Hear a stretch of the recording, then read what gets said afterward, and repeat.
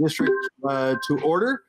Um, the first thing uh, I'd like to begin with, so we can have uh, an accurate record of attendance, is if our phone-in callers could all identify each other, um, taking turns, and then mute themselves so that we don't have feedback. And star six is how you unmute so you can speak. Ethan. Carl, this is Kim Robertson. I'm on the call. Thank you. With Matt Robertson. Excellent. Kim and Matt Robertson from Stockbridge. This is Irene Sintef. I'm on the call with Craig Cole. And you are uh, uh, uh, Stockbridge. Stockbridge. This is Rob Gardner from Rochester. Hello, Rob. Thank you. You bet. This is Charity Colton from Stockbridge. Hi, Charity. Thank you. This is Mark Pelletier, Stockbridge. Hi, Mark. How are you doing?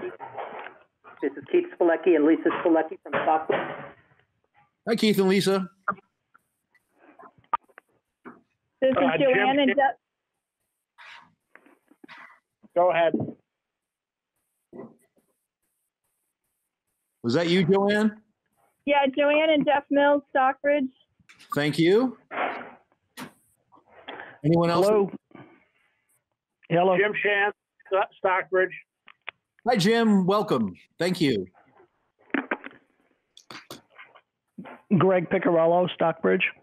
Hi, Greg. Thank you. Anyone else that hasn't uh, chimed in yet? Did you get Nancy Woolley? Stockbridge. Uh, I did not hear Nancy, but thank you. And uh, the the name that was also from Stockbridge when I was uh, talking over you. I'm sorry. Hi, Carl. It's Lori Scott. Hi, Lori. Thank you. Hey, it's Tim Pratt. Hi, Tim. How are you? Good, you? I am well. Thank you. Anyone else? Caitlin McKinstry from Stockbridge. Hi. Welcome. Thank you. Did we get everyone? I know one of these numbers is ORCA Media, and that's that's okay. Hi, Wade or Mason. Um. Okay. Uh, I think we've got everyone uh, uh, uh, appropriately uh, tagged. Um, so we will go with uh, adjustments to the agenda. Um, I have two. I um, actually, they can- actually they can be in real time right, as I uh, think them through further. So uh, um, I can save them for there. Do we have any other uh, adjustments to the agenda from uh, administration or board members? Carl, I need to add executive session. Okay, uh, we're going to add an executive session for personnel, but um, contract. Sorry, personnel. Thank you. Uh, if we could add, uh, ba, ba, ba, ba, ba. Um, we can add executive session as uh, item number eight to the agenda. Uh, any others? Uh, Bonnie, Bruce, Tara, No, I'm all set. board folk? Okay. Um, so we now have uh, public comment. Um, we really haven't done public comment uh, in in this format before. Um, I feel like I should remind everybody that to be able to comment at a uh, a, a, a, a, a municipal board meeting, you now you need to be a, uh voting member of uh, one of the two municipalities, or you need to uh, uh, be formally recognized uh, to, to have such comment. Um, in general, my suggestion would be we also have a public comment um, session after we've had the discussion items around the budget and uh, the annual meeting. Um, so I think in efforts to try to make this go as smoothly and as cleanly as possible, um, you are certainly welcome to, co- to, to, to, to comment in the initial uh, uh, uh, public comment session. The formal um, uh, uh, uh, bylaws of the Rochester Stockbridge Unified Board allow everyone to comment for up to five minutes um, once during a public comment session. Um, we generally are, are, are, are kind of fast and loose with that, but I think um, the, important, the, the, the point I'm trying to get at here is having a public, uh, having public comment before we've had a board discussion around the budget and the annual meeting and those sorts of things. Um, it, it, I would ask that if you're if you want to discuss or weigh in on those sorts of topics, that you wait till after you've you you you've had the board discussion. And in general, normally normally we're we're, we're more freewheeling about participation during the port the, the the the parts of the meeting that are not public comment. Um, we are going to try to um, uh, ramp that down a little bit just so the board can move through what the board needs to do. Um, we certainly, um, again, will there, there's a public comment session before we go into executive session. So uh, there there is ample time for for for for people to react. Um, so my suggestion would be that, if possible, we uh, take notes and uh, uh, save the comments for after uh, uh, you know after the board deliberation. But we do have a uh, public comment uh, session that's going to begin in just a minute after we do because Ethan is here. Are you not, Ethan? Didn't I see you come in? I am here. Okay, Ethan, as our uh, uh, de facto timekeeper, let's go through and uh, uh, break down uh, uh, some of the uh, uh, information. Um, so, how much time do we want to allocate for uh, public comment? The first public comment? 15 minutes, 20 minutes? I mean, what have we done in the past? I don't recall. I think usually 20 minutes. Yeah, I was going to say but- 20. I was going to say 22. Okay, so then let's do uh, uh, item number three, public comment, 20 minutes. Item number four, board comment, 20 minutes. Uh, discussion items, uh, annual uh, budget and annual meeting, uh, 30 apiece. Knowing that we'll, we, we, we may well get in the weeds and go longer than that. Does that, uh, does that feel good or do we want to add more? Okay. I think that should work. That sounds good to me. Okay, so let's let's at least uh, pencil in the idea that 5.1 and 5.2 budget and annual meeting will each be 30 minutes. Um, so then, uh, act to approve budget, act to set an annual meeting uh, date, and act on colonial uh, colonial custodial. res- um, I think probably those will just be the, the the the formal acting and moving. So five minute each for those. Another 20 minutes for the public comment and then another 20 for the uh, executive session. If that, it's not that long. Okay. I would love it to be shorter. so, does that sound good to, to all the board members? Yes. Yes. Okay. Um, then we will go into uh, the first uh, uh, 20 minute uh, public comment session. Um, does anyone have uh, anything they'd like to bring to the table before we discuss the uh, uh, budget in the annual meeting?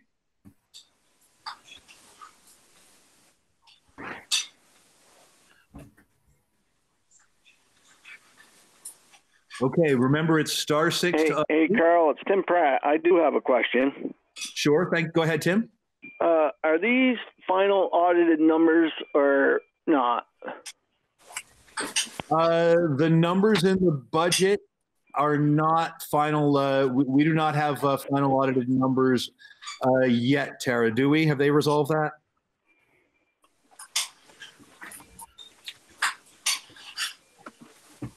Tara, are you there? Sorry, I couldn't find my button. Um, no, the audit is not 100% complete yet. Still a work in progress. Do we have a uh, Do we have a time frame for when that would be uh, available to Tim and others? I am hoping very soon. I've got to finish up my final review of the reports, and then if I have any additional corrections, I got to get them back to the auditors.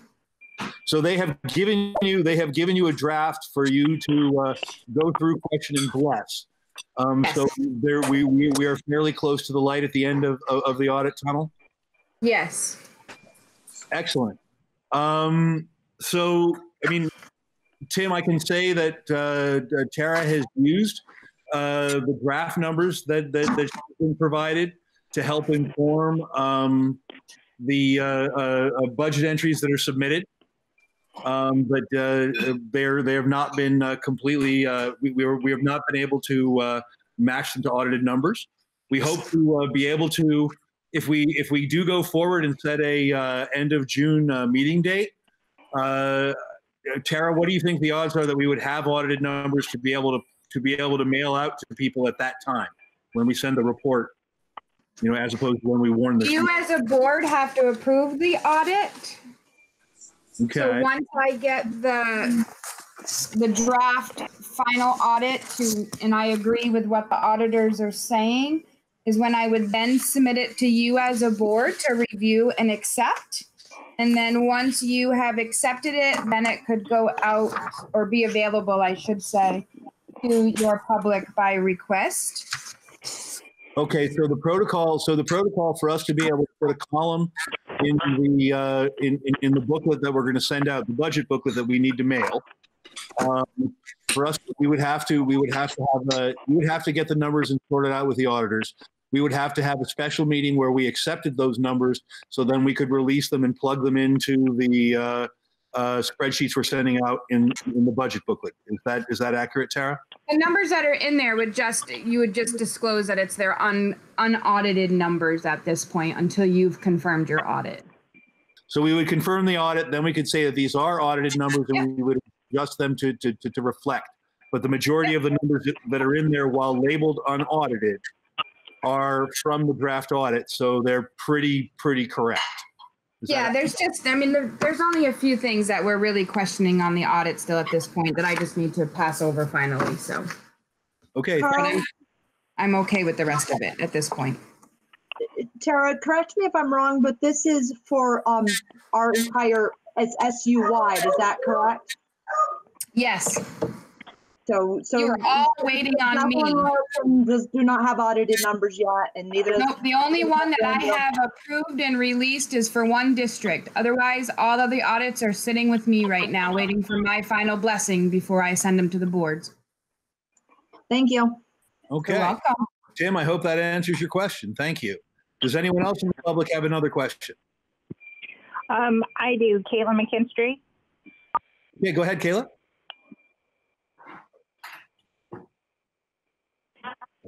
So my question is, so the budget that's going to be voted on, does this include separate operating expenses for the elementary school in Rochester and the high school, or are they just lumped together?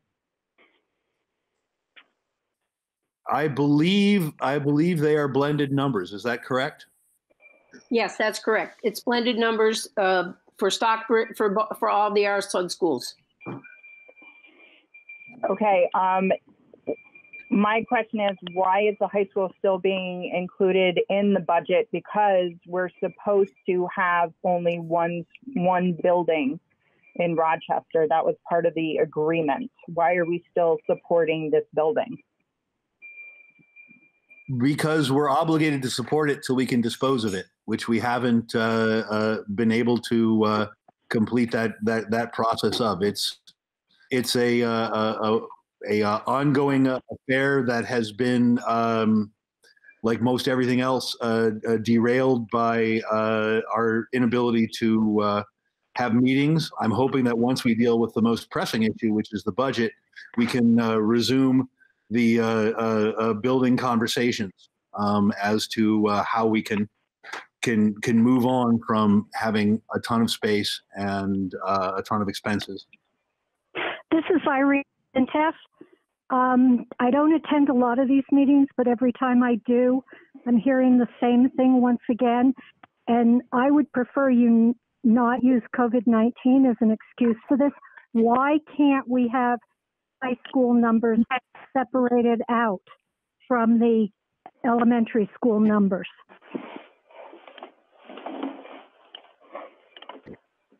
Um, I'm not sure. Well, Tara, could we could we produce a report that shows um, cost by building? Um, for the for budgetary purposes, you know, we we need as a board for the unified district, we need to, to, to pay for, you know, electricity, for fuel oil, for internet, Um, and we have not, uh, uh, in general, uh, I, I don't believe Rochester ever separated those numbers out um, when they were when they were just Rochester district. And Well, they're not Rochester district anymore. And anybody who's ever done a budget knows that if you've got two buildings, you should have them as different line items. This is just an excuse that I hear. There's no reason why you can't, you folks cannot break that out. Um, Tara, is there a reason why we couldn't produce a report that showed that? I could attempt it. I'm not making any guarantees. I mean, you're still using portions of the high school building for your elementary school, correct? I believe uh, that is true. Yes. So, I mean, the, the building itself is still being utilized for elementary, middle school purposes. So if they're just, if you're just looking to know how much money we're spending on electricity and fuel oil for that building, then yes, I would think that was something that we could break out based on the service and delivery tickets. But Okay, well, building's that's- being that's what- utilized for elementary and middle school, so it's not really a separate expenditure for the usage Well, of why, your school district. why are you using, why are you using the high school for the elementary school? I thought when I voted to merge the districts, I voted based on the fact that we were each going to have an elementary school. I didn't vote for the fact that Rochester was going to have a campus environment. And so I feel like I've been duped. And now you're telling me that you don't even break out the budget uh, line item per each building. So I'm being double duped. So I'm, uh, I'm I'm sorry you feel that way. Uh, your opinion and and, and uh, feelings have been have been noted. We will certainly we can certainly try to produce uh, a, a document that shows where uh, where the expenditures are uh, for which building. We certainly have different electric meters, I believe, for all three buildings, for example. But um, you know, the the for the purposes of the budget, we have to uh, uh, move forward with uh, you know the the expenses we have. Um, certainly, we hoped that uh, we'd be farther along in the process of of uh, uh, dealing with uh, uh, right sizing the, the the Rochester campus, but it's a complicated issue. Um, we've had, you know, we have we we have certainly not. I I, really don't think it, you can find online all the minutes for the various meetings we have. I think we have not uh, uh, kicked the can down the road. I'm sorry that you feel that you're you're you're being double duped, but uh, I can assure you that that's not um, our intention. Um, we're trying to go through the problems as best we can. But thank you for uh, your opinion. We will certainly uh, uh, uh, uh, take it into consideration as we. Can I interrupt for just one minute? This is Janie Feinberg, and I'm going to be really honest here. My focus is, and I won't hide it, the academic part of it. The finances, I really leave to Amy and Carl and all those people who know that much better than I. But I will, but one thing I do know this is an honest board. This is a board that has tried to do the best we possibly can especially under these circumstances and getting a building that we didn't know what was going to happen. It was the first time. And the one thing we have not done is try in any way to to fool or dupe the public. I'm sorry that it seems that way. And I do see how you would want the different expenses and you obviously know a lot more about I do than line items and things like that. So I can't speak to that. And I hope we do take your suggestions because obviously it's not where it should be. The one thing I can tell you, we did not try to dupe the, dupe you. I I am proud of this board and I've worked with many school boards in my educational career. This is a good board. This is a board who wants to do the best. And if we've made mistakes, I hope we listen and I hope we take what the experts have to say, but we did not try to dupe anybody. Uh, Well, Caitlin McKinstry, um, I have another question. What happens if the budget does not pass? Um, if the budget does not pass by statute, the board is entitled to spend eighty-seven percent of last year's budget uh, and continue to uh, move forward to uh, vote a budget. Um, Okay. Other things What that are- happen in the meeting, other things that happen in the meeting, for example, um, uh, voting for uh, the the person that uh, my seat is up for election. I believe is it Amy? Are you up for election this year on the Rochester side, or is it Megan? I'm not sure, but there's so if, if the budget if the budget was defeated, um, the results of the election for uh, my seat for, for the uh, matching Rochester seat uh, uh, would still hold forward. The board could, uh, you know, warn a second vote. I think ten days, depending on how the the the, the, the meeting is, is handled, uh, Robert's Rules Order wise.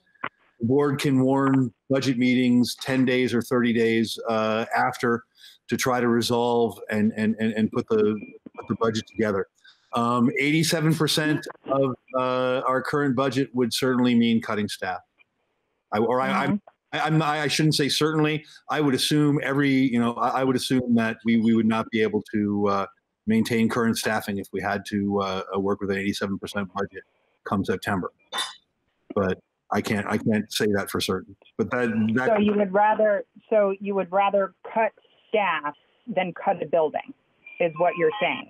If the budget does not pass, you would prefer to make staff cuts than cut a building that Um, that's money. you're, you're you're you're you're putting words in my mouth, and we're getting near the five five minute. Uh, uh, uh, uh, Right, because you and Jeannie have, putting- have taken putting- up most of the public comment.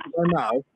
Um, I cannot. The, the the the reality around cutting staff is that you can you you that is a thing you can do um, in an immediate way. You can't dispose of we we we can't wish the building away. The building the the, the building has to be. I mean, if the town of Rochester. Okay, okay, Carl, I know you're between the you and Jeannie talking, you've taken up a lot of public comment. So the point is, is we were promised this building would, what would be done with it? You guys would that Rochester would choose a building after the building study came out. Well, the building study has come out, and now you guys are talking about, well, now we need to wait till the end of the audit process. We are years into this merger, years and we're about to lose subsidies from the state for the merger, and we are still paying for this building, which, quite frankly, if you look at Stockbridge School versus Rochester Elementary School, we utilize every inch of that building.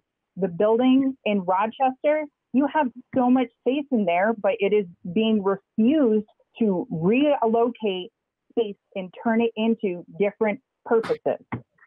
And we're still paying for a building under the guise that it's oh we need the space for the music and the art. Quite frankly you don't you need to reallocate space. On top of that children enrolling enrollment is going down so and we're still paying what was it 30,000 a year to keep this building open so when are you guys actually going to fulfill on the promise that yes, we are going to choose a building? When is that going to happen? We need to know now. Because at this point, I'm going to vote no on the budget and I'm going to tell everybody who listens to me or wants to hear what I have to say to vote no until the building goes away. Thank you for your opinion. Um, does anyone else have a comment? Okay, uh, hearing none, let's move into board comment. I had two things that I wanted to point out um, for uh, Lindy and. Uh, Hello? Hello? hello? Yeah, this is Keith Spilecki. I was trying to make a comment. Ah, okay, I'm sorry, Keith, go ahead. That's quite all right. I have to say that I am in total agreement with the prior speaker. Um, I'm not sure I understand the concept of the consolidation. We went into this with three buildings. We still have three buildings. Was there not a plan in place to address how we were going to uh, consolidate this district? Because it certainly doesn't sound out like it. It sounds as though we're looking to put a plan together after we voted to consolidate. I'm not sure I understand.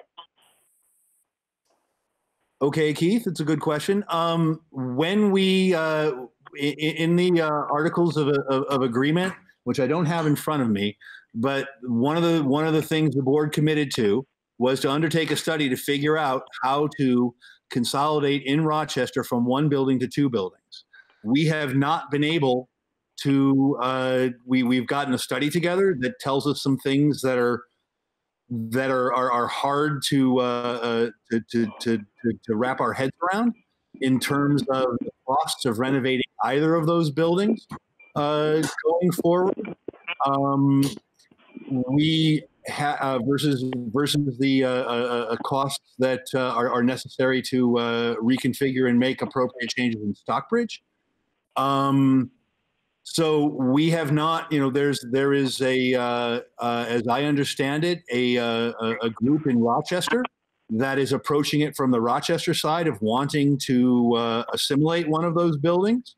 Um, I believe they're leaning towards the high school, but they have not gotten together enough of a, a, a, a or, or done enough work to to have made the board a proposal because the, the, the, the cleanest way to divest one of those buildings is for the town of Rochester to buy it for a dollar. Um, they would have to choose to do that. We can't just give it to them for a dollar and, and, and say, here's your building, thanks for the dollar. Um, we have, so we are trying to work on that from the community side.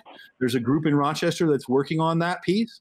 We're trying to work at it from the educational side, but you know, we've been the, the, the, biggest piece for us has been trying to, you know, uh, properly educate the kids, which has meant that we haven't been able to completely get out of the high school building because we don't have, we, you know, we, we, we, we haven't, we, we, haven't made the decision that that's the building we're going to get rid of.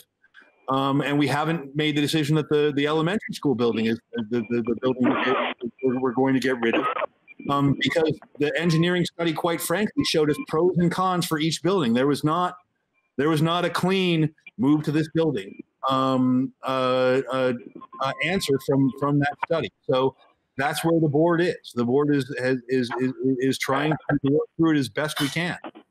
Um, and you, know, you have the right to vote the budget down. You have the right to vote me out of office.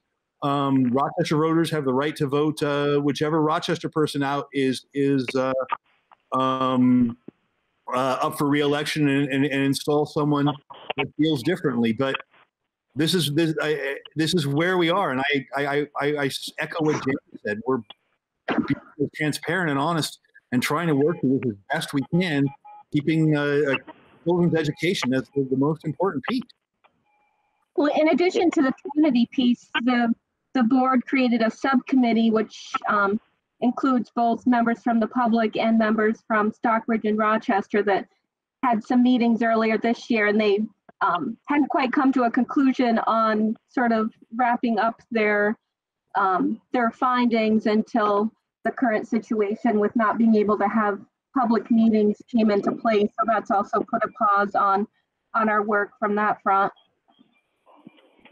Carl, this is Kim Robertson. Can I uh, say something? Uh, sure. Let's. Uh, we we. I think we're probably well over the twenty minutes we had for. No, we got about we got about two minutes left. Ah, okay. Kim, Thank go ahead. we can probably run a You few. know, in all fairness, the board is taking over more of the time than the public is. Right. Agreed. So, so this is Robertson, and I am. Um, I just want to say, uh, all right, if if Rochester is making this decision and they have a committee to look at this, why is it that we're going to sell it for a dollar to them when we're paying thirty thousand dollars to keep the school running or something like that with insurance and oil and everything? Why can't we? Um, why can't we benefit? Why can't we say, look, if they're going to keep this open for year after year, why can't we up the price from a dollar to thirty thousand? And if they don't want it for thirty thousand, find a, a buyer. I find that this is a burden on Stockbridge, and I think um, I know you guys do a great job, but we can't keep this up year after year. We make it do in Stockbridge with a art in the cafeteria and no gym they can certainly find the room if they want to keep that school open. But I think we need to make it a deadline. Thank you. Well, I, I have to tell you, I'm going to be, I'm going to vote no to any budget until I see a concrete plan from the board on how they're going to proceed with this process. Because otherwise, Keith, you're breaking up. Yeah, we can't hear you. These Google calls and never work out that well. Um, I'm going to vote no on this budget, and I'm going to continue to vote no on the budget until I see a concrete plan from the board on how they're going to move this process forward. Because it just can't continue where we kick the can down the road and we have another committee and another committee and another committee. Maybe we should have had these committees prior to the consolidation because I haven't seen consolidation. And I'm going to try to rally any troops I can to vote no on this budget because it's just Here, open- here. Okay. Thank you for your opinion, Keith, and thank you for your opinion, Kim. Um, we are. Uh, does anyone else uh, have a have a public comment before we move on? I think we're probably now the twenty minute limit. If someone else that uh, has that has not yet chimed in would like to do to now's the now's the time. This is Charity Colton. I'm sorry, Rob. Go ahead. Rob, then Sharon. Yeah, I, I want to make a couple of points. I'm from Rochester, and uh, I have complete sympathy for the folks in Stockbridge wanting to pay for all this stuff, um, not wanting to pay for this stuff. I understand it. But uh, Carl, I think you're not being entirely honest with everybody and talking about what happened to that abortive meeting, series of meetings we had to try to solve this problem, which, as far as I know, just died like a dog. Um, I don't. I don't think you're being honest with the folks in Stockbridge about what happened, nor did I ever hear any follow up or closure on that uh, meeting. So that's one. The second is that if I lived in Stockbridge and I wanted uh, to get rid of the cost of this high school, I would do everything I could to encourage Rochester to buy the thing.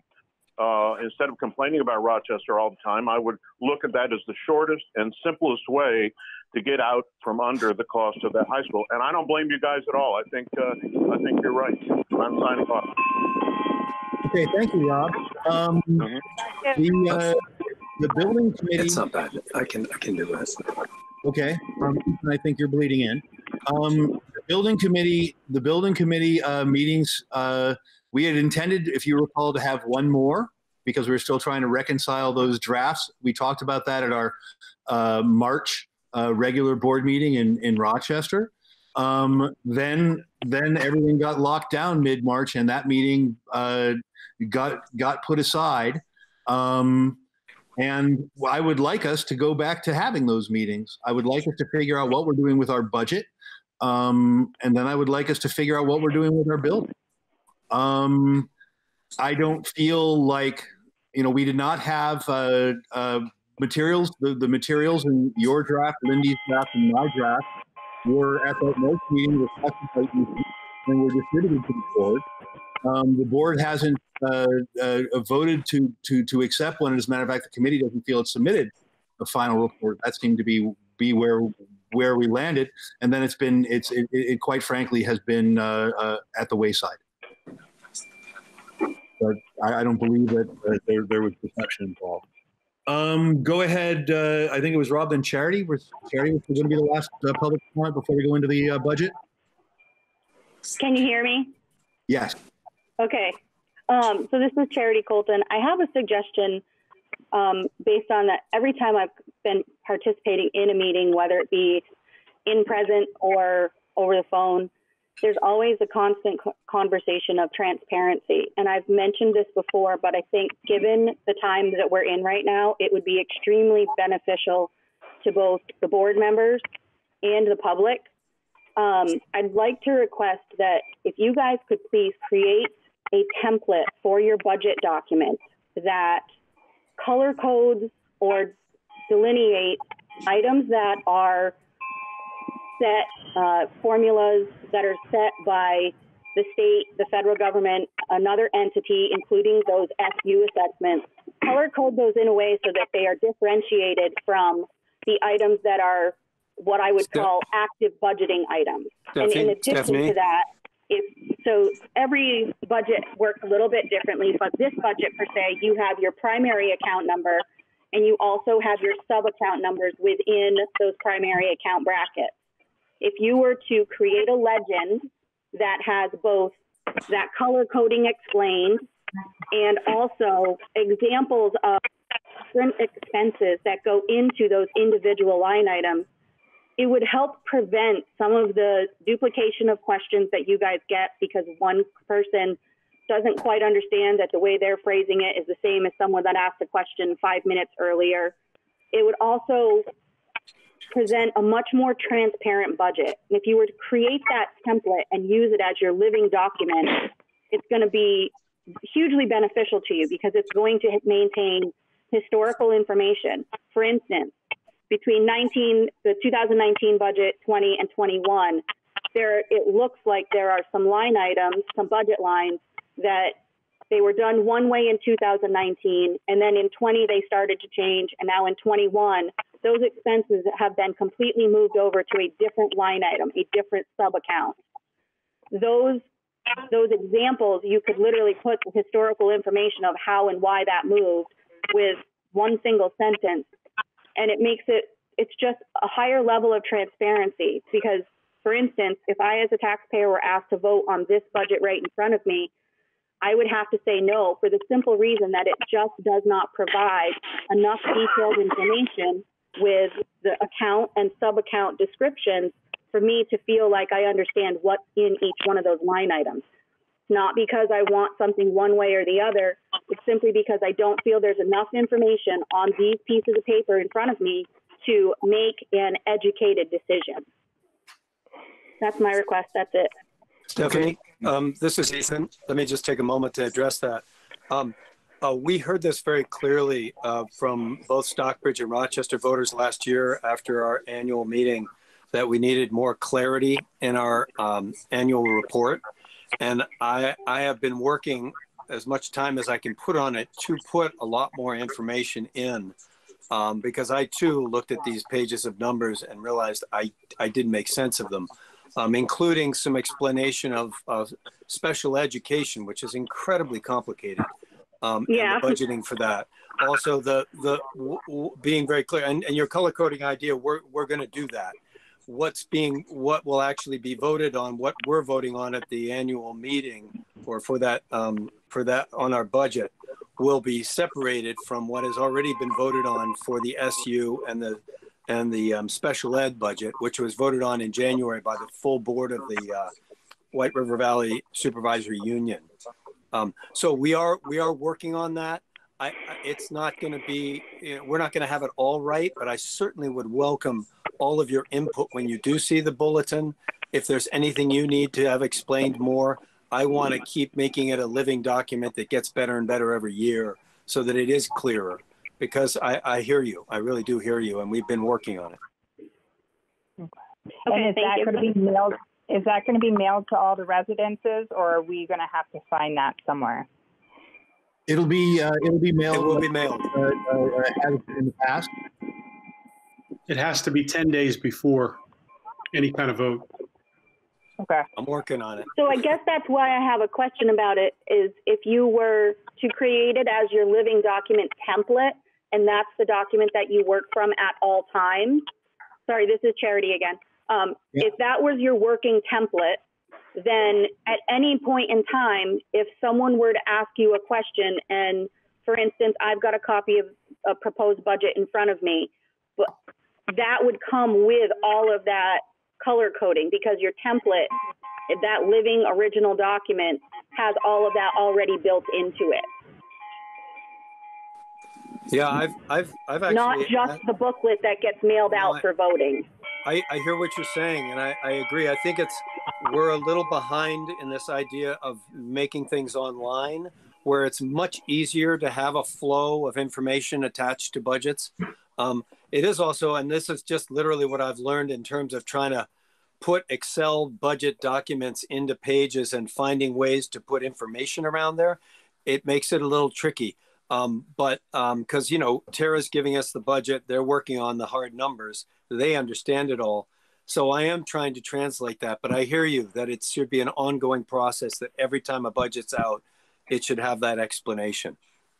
It's a very good suggestion.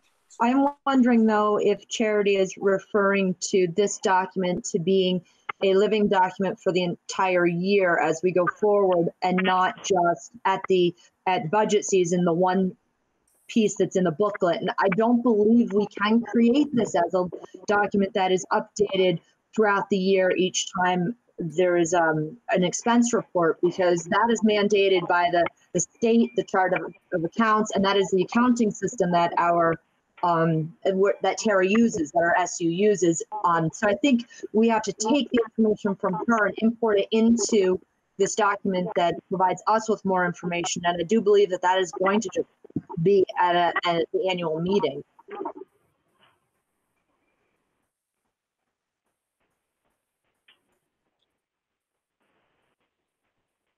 Okay. If there are no more questions, yeah, we're at time. All right. We are going to move on now. The next thing uh, on the budget is uh, uh, the discussion items of the budget. And No, you had board, uh, Carl, board comment? You had two items you want to bring up? You're right. um, I had forgotten. Uh, I had two things I wanted to point out. Um, number one, um, I wanted to to to, to talk to uh, our administration around. So, as I understand it, Vermont has gotten the USDA waiver to uh, uh, uh, uh, continue the to, to continue the summer the summer food program, so that that uh, we will get we will get compensated for running for running summer meals in Vermont. Um, so I wanted to uh, hopefully our uh, um, you know uh, I'd like to know are we planning to do you know knowing that we we're going to get the, uh, the the the federal support for that I'm assuming we're going to keep the program going is that still in the works or, or thought about Bonnie and, and Lindy? That's the goal. Um, there's more, com- we started a conversation around that today as an admin team, and we're supposed to follow up again on Friday. We have to circle back and find out to make sure we have workers and things like that.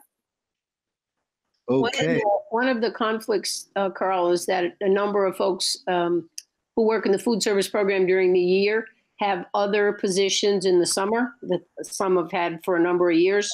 Um, so the question would be, as Lindy said, um, can we, would there be adequate staffing? We And- certainly and- hope there would be. And are you talking about this as a um, summer food program similar to the, the program that is currently being running or, or addressing more kids than just summer camp kids? Yes. Exactly. I should also add to all of you that there is some concern as to whether or not we're going to have a summer program at all. Um, the Southwest, Southwest Vermont school districts have canceled it, and they've written a position paper around uh, the fact that they don't believe it's safe enough to have a program yet. Um, Barre has canceled theirs for the summer. Uh, Central Vermont, which is Williamstown and Northfield, are looking into it. And there's going to be a discussion with the Winooski Valley folks, and that'll include me or Jamie, about uh, the status. And it's not really my deal because it'll be after Jamie takes over.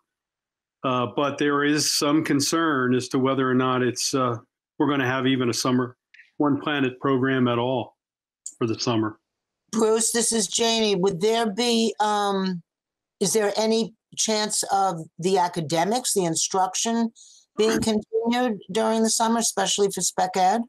we would have to come up with something ourselves. There would be an um, the alternative is to keep going the way we are, which is doing uh, the uh, virtual uh, work all summer. Um, that doesn't handle really all the needs we have, but this is a discussion that's happened around safety. It's not around the need um, at all. Um, and that's that's a movement that just started a week and a half ago. Um, the Southwest Vermont folks came up with their position on the 15th of May. Uh, now other regions are considering it, and I know that uh, some of the folks um, over in Bonnie's neck of the woods are are looking at it. Uh, Jeannie Collins and David Younts, who are uh, superintendents over on that side, um, are talking about it, and we're quite frankly talking about it as a whole state now. Um, I can imagine this is going to create quite a quite a pickle for all the parents who are being called to return to work as the they're trying to open reopen the economy, but they are now have no place for their kids. I hear you. I don't know what to do with it. Uh, I was just kind of bringing the message uh, today with the administrators, uh, and they heard it for the first time today too. Um, I am concerned about the summer meals and us having a labor force uh, to be able to carry it off, not just in Rochester and Stockbridge, but all over the SU. Um, many of these people are very, very tired because they haven't stopped at all. So that's just news. I'm, I'm, I, I don't know what else to tell you. I don't have any How many meals, how many meals come out of Rochester Stockbridge a, a, a day, or how many meals do we do a week? Uh, you saw those numbers today, Lindy and Bonnie, didn't you? Uh, they yeah, it's on the it's screen. 50 meals, uh, 50 lunches. Breakfast is a little bit lower, but 50 lunches uh, per a day. And we're on a Monday, Wednesday, Friday schedule, which means really they're putting double that out in lunches a day plus uh, whatever breakfasts are. I don't remember what those are off the top of my head. In Rochester's numbers, Carl's go between 65, 68, sometimes 70, back to 65. So I'd say mid mid 60s every day. Same as Lindy's saying, breakfast and lunch. And then we up because we deliver every other day. So our district has 110. Yeah, approximately. And It's that number- growing. That It number grows every week. Per day. Per day. We've uh, we've served in the whole SU. What's Uh, population? How much percentage of our population that we're feeding? If we're sending out 110 meals a day, and we've got how many kids? Well, it's open to zero to 18. Right. We've also got some kids, Carl, that come from other schools who, who are eligible to come and get lunch. They're not a lot, but there's a few of them. Like kids that go to Middlebury, that's just too far to go to get a lunch. Um, so we can't really do a percentage for you. Just we're feeding a lot of kids, and our fear is if we don't find a way to continue this, you know, there's a lot of kids that might not have uh, have you know the Right. food they're getting now. So I, I mean, they can, you know, I, uh, my general feeling is that if we've got that sort of, if we're filling that sort of need, and we have the opportunity to continue getting the federal funding to fill it over the summer, we need to still be feeding these people if we can. You're not going to get argument from Bonnie and I on it. It's just about staffing. Do, is it possible, is it possible to hire, um, hire staff just for the summer? Well, That's an idea we put on the table today, Ethan, because I certainly understand, like Bruce said, the people that have been doing this, they've been doing it right out straight. And one of the reasons they haven't asked for volunteers is they felt safer just knowing the same group of people came in every day, you know, to work on lunches. So I understand that they're tired. And the que- I mean, we didn't have time to respond today, but we did bring up the idea of uh, could we hire and train other people uh, to do the summer lunches? we've uh, we put out uh, SU wide 21,000 meals since we started this on the 18th of uh, March.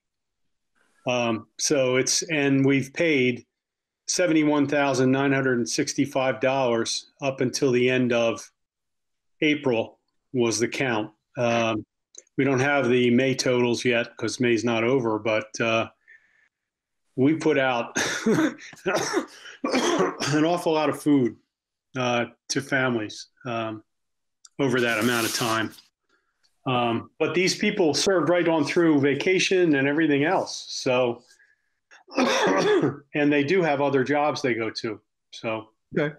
Um, yes. Well, I think it, it, you know hiring uh, if if necessary, um, understanding how uh, to make sure that uh, as soon as the the the, the policies uh, for for COVID nineteen reimbursement, CARES Act money reimbursement for for these COVID related expenses are there, and we we get that. You know, we we we properly file that that that, that paperwork, and we get that funding uh, uh, reimbursed. I think is, is is important as well, and I'm sure Tara's on that. Um, the second thing I wanted to point out, and this is uh, something that I, I don't know how we're, we're communicating to our families, but um, from the, the, the VSBA uh, uh, sent, an in, uh, the, sent information from the, the, the secretary that included the uh, farmers to family food box distribution. program that's been put together with the Vermont Food Bank. Um, if we can let you know the the, the two the two dis, disbursements near us are Middlebury on Wednesday and Thetford Academy on Thursday, ten to two at both at, at both places. If we could let our, our, our families know, um, you know, it's it's the the the National Guard with non big boxes of non-perishable, along with produce and chicken and, and dairy. So I mean, it's it's it's. I mean, I saw the Barre, and it's it gets. No, we're just a, we're just a tad ahead of you. We we sent that out to folks already. As soon as we saw it, we sent that out. Excellent, thank you. And Lindy, what about the Veggie Van Go? I know you and Bonnie were. Yeah, we're gonna we're gonna bring that up in in June. Um, Gifford has reached out to us. They would be the applying entity. Um, they would basically just like to use uh, um, our parking lot and Stockbridge's parking lot to make fresh uh, produce available on a drive-in basis. So uh, you'll hear more about that in June, but they are very, very interested in partnering with us um, and getting those resources to our families. Excellent. That's awesome. Is there any other board comment?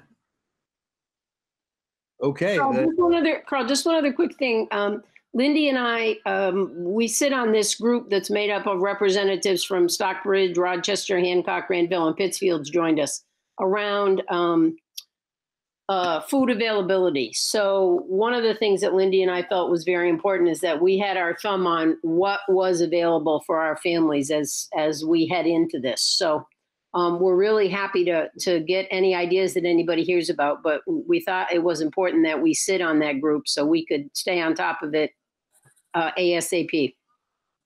thank you so much for doing that you guys that is that is that is awesome because you know the the everything i've seen you know that we you know the the, the more we can support social emotional well-being the more we can support uh, uh, uh, you know food security and and uh, um, you know wellness activities outside you know and and and and the more we can support the whole child and not just the stuff we can cram at them through a Google Hangout or or or, or, or through a screen.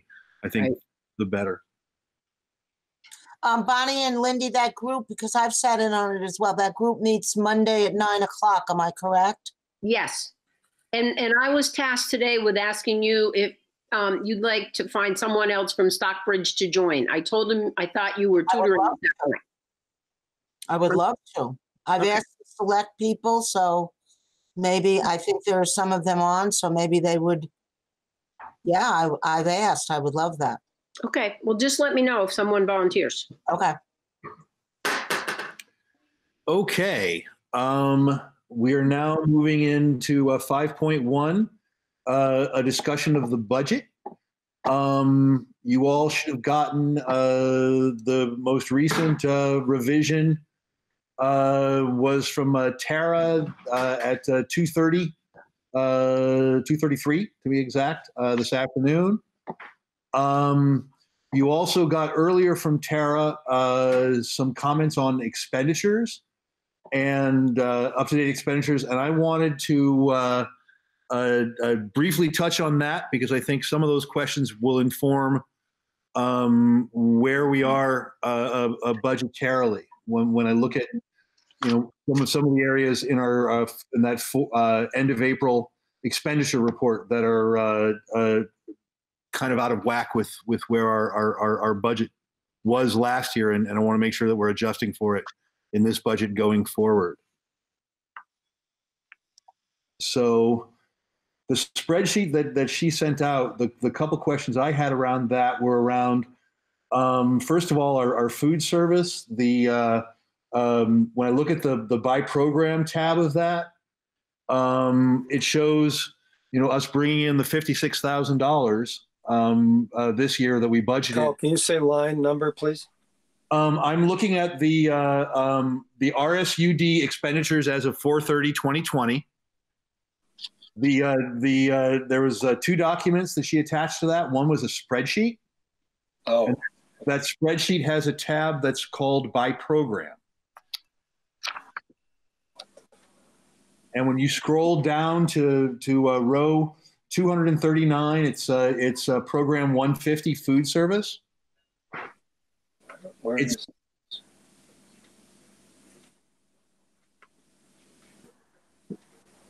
So this is not not- in the budget. This is not in the budget.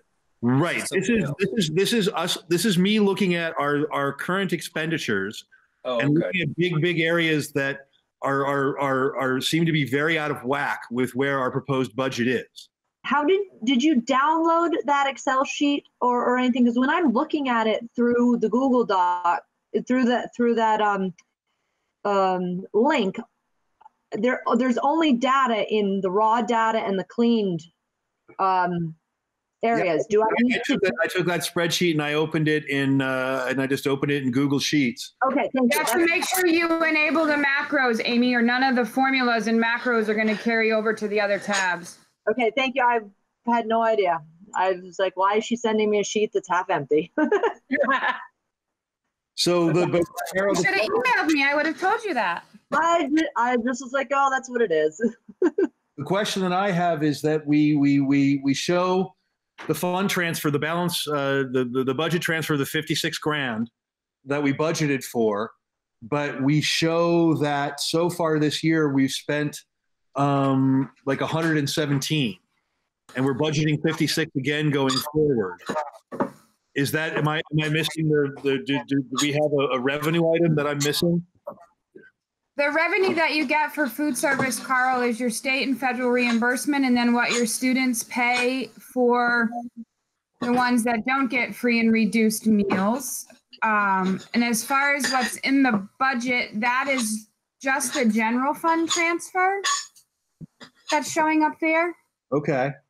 That you as a board move from your general fund to your food service fund. Right, right. I just wanted to make sure that when I look at when I look at the expenditure side and I see that we've we've spent all all, all that money, I wanted to make sure that there was federal reimbursement that was backfilling that sixty-six thousand dollar um, deficit that our expenditure sheet shows, and that we're not just saying, okay, well we'll write in fifty-six thousand dollars, knowing that we're just going to have we'll just run a, a, a, a you know we'll we'll just run a giant deficit. I can ask for a deeper dive into where your food service budget stands currently. It's not Okay. something I've looked in in great detail. Okay. Um, we also, um, when you look at the school-wide programs, we had budgeted um, eighty-three thousand dollars, and we're we're we're we're, we're closer to uh, a hundred in the long in the in the, the Title One, the four forty. Same spreadsheet, row two hundred and fifty-seven, or that that collection of, of information. Did we budget appropriately for for Title One going forward? We have dropped your grant revenue substantially, as you saw in my email that I sent out this afternoon. Okay. So does does that mean we're just going to we'll we'll just have less services, or are we going to need to to to to to to put more money in?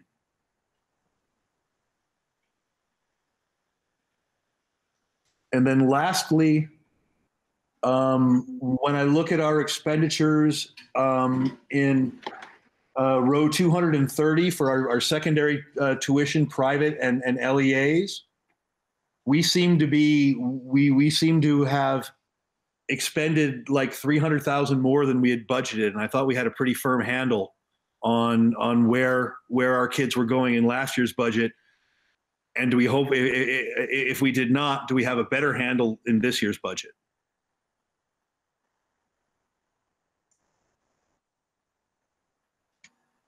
Your budget this year, I can't speak too much as to what happened last year, but the budget this year was based on where student enrollment is and projected where students were going to go for tuition. okay I, I- i'm just i guess i'm just used to that number being a lot Carl, where were you looking at that number from? Because I'm not seeing. Yeah, I was on just trying to find it too. Can you? i'm in share- the FUD Are you in the budget or are you still in that expenditure? i'm still in the expenditure sheet Okay, I'm with you. Which Which tab? tab? i'm on the Step. by program tab Okay. Okay. Groups everything neatly by program Yeah, no, I'm looking there. What, which line then? i'm i'm down at uh, row uh, uh, 229 and row 230 or 231 that. That's why I'm struggling. 229. I don't see a 229. Carl, are you in, are you in the, whoops. Are you Using in expenditure for this year or last year, Carl? I'm in the, I'm in the spreadsheet that says RSUD expenditures as of 4/30/2020. So this year, okay. So where is that number? I don't see it. Carl, what line? Because two twenty-nine is TAN interest and two thirty is HRA administrative services. Mm, in my, in my Or copy, did you expand all the other upper ones? I expanded, I expanded Okay, that's why. where I get to see tuition. Okay, so And I you look- need I look to at the the, We're, we're, we're, on your Excel file, expand next to where the little plus sign is, and then it will break them down further. Uh, That's why we on the can't see what he's seeing. I couldn't hear that word. Yeah, I was sitting there going. What? You have to hit the little plus. Yep. And you might have next to. to the object code. And you might Where have it says, like, for an example, 140 pre-K regular ed, there's a little plus sign right before that. If you hit that, then that will expand on that roll up. And if it just doesn't lo- let you do it, you might have to hit refresh. I just Yeah. lost everything. Right click refresh. Okay, so now what number are we on? Um, I was looking at, uh, the, the row two thirty tuition dash secondary private and row two thirty-one tuition dash secondary VT LEAs. And At the two thirty-one row, that normally in past years, the mu- the amount we've budgeted has been maybe a kid or two off, but not not not that many off. And I wanted to make sure that if you know that, that, that we're, we're, we're closer in being accurate in what we're putting into this this budget going forward.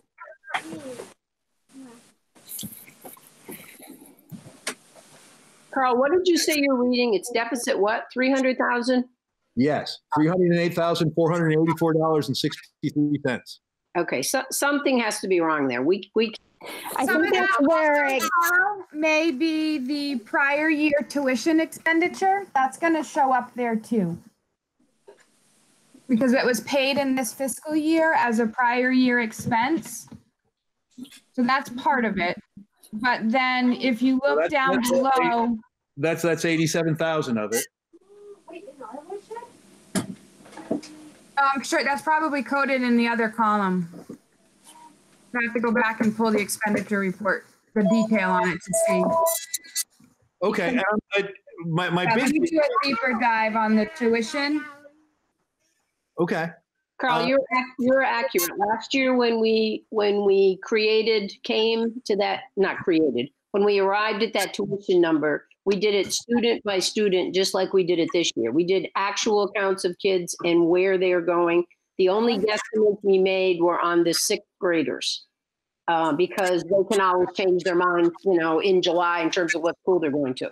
But- right. right. So you had said at the last meeting we have a pretty good idea where they're all going except maybe one. So we're we're we're Correct. pretty dialed in. Correct. So that number, Tara's gonna have to take that number apart for us, but I'm very confident that number is not. Yeah, I- I don't need to have a, a, a giant explanation tonight. I just wanted to make sure when I was looking at that, I was like, these things seem out of whack with what we budgeted, and it looks like it's close to what we budgeted for this coming year forward. I wanted to make sure that, that we that, that, that you know, what we, we we were being we were being as accurate and as dialed in as we can be this year going Right. forward. We, we did it the same way this year, youngster by youngster. Excellent, thank you. So then, uh, Tara, uh, I don't unless you have anything more to say about about uh, the expenditures. I'm done talking about that unless anyone else wants to talk about expenditures.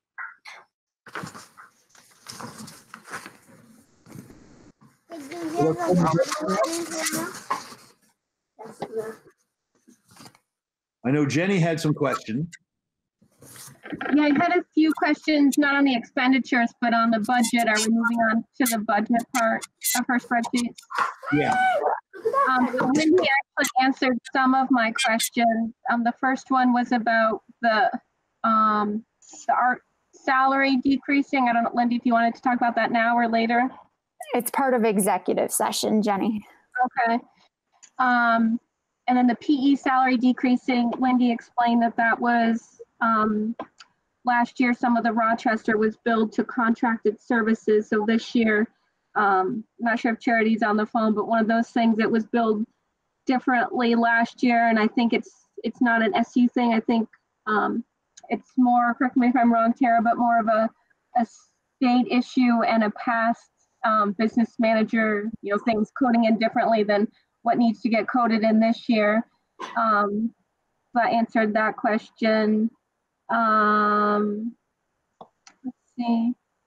Uh, I was wondering, and I wasn't at the last meeting. I apologize if we already discussed this, but um, had a question if we're carrying over all of our surplus surplus into this coming budget.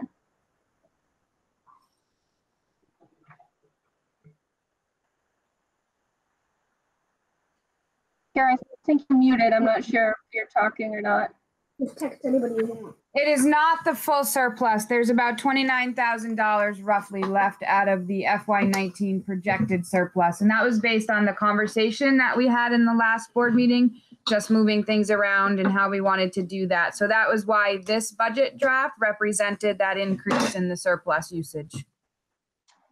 And then Your decision what you want to do, so.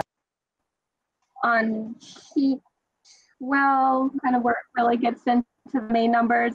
Um, I just looked at this really briefly today, so I didn't really think about it much, but the um, the education spending per pupil per pupil cost was 18,863.85. And then I was thinking last year, but I could be wrong. Um, it has the adjusted per, per pupil spending for calculation. Um, do we, it looks like we don't um, reduce it by the less exclusions number. Is that correct? You still have to disclose what your education spending per pupil cost actually is. And if you have exclusions, those are then deducted, which helps off so you don't get the tax penalty. Okay, so the reason we're not over the threshold is because if you were to reduce that 18,863 by 494, then you'd be below that number. Is that right then? Correct. Okay. Um, I And think maybe that, just for the, can I just comment on that? Maybe just for the uh, public that's listening, Sarah can explain why we get to reduce, um, w- that we have those deductions. That's to do with the teachers' re- retirement fund, that the state's not gonna penalize us on rebuilding that fund, so we get credit for it, for that expenditure. As a or part of something like that, um, you can use your bond payments that you pay as a offsetting exclusion.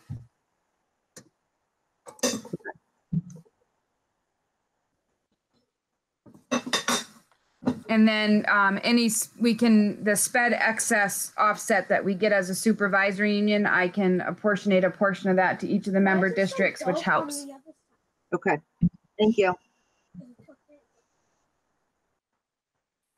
those are my main um, questions. Since there's so many people on the phone, I'm not sure if it would be worth doing like a, a brief summary of any major changes from last year.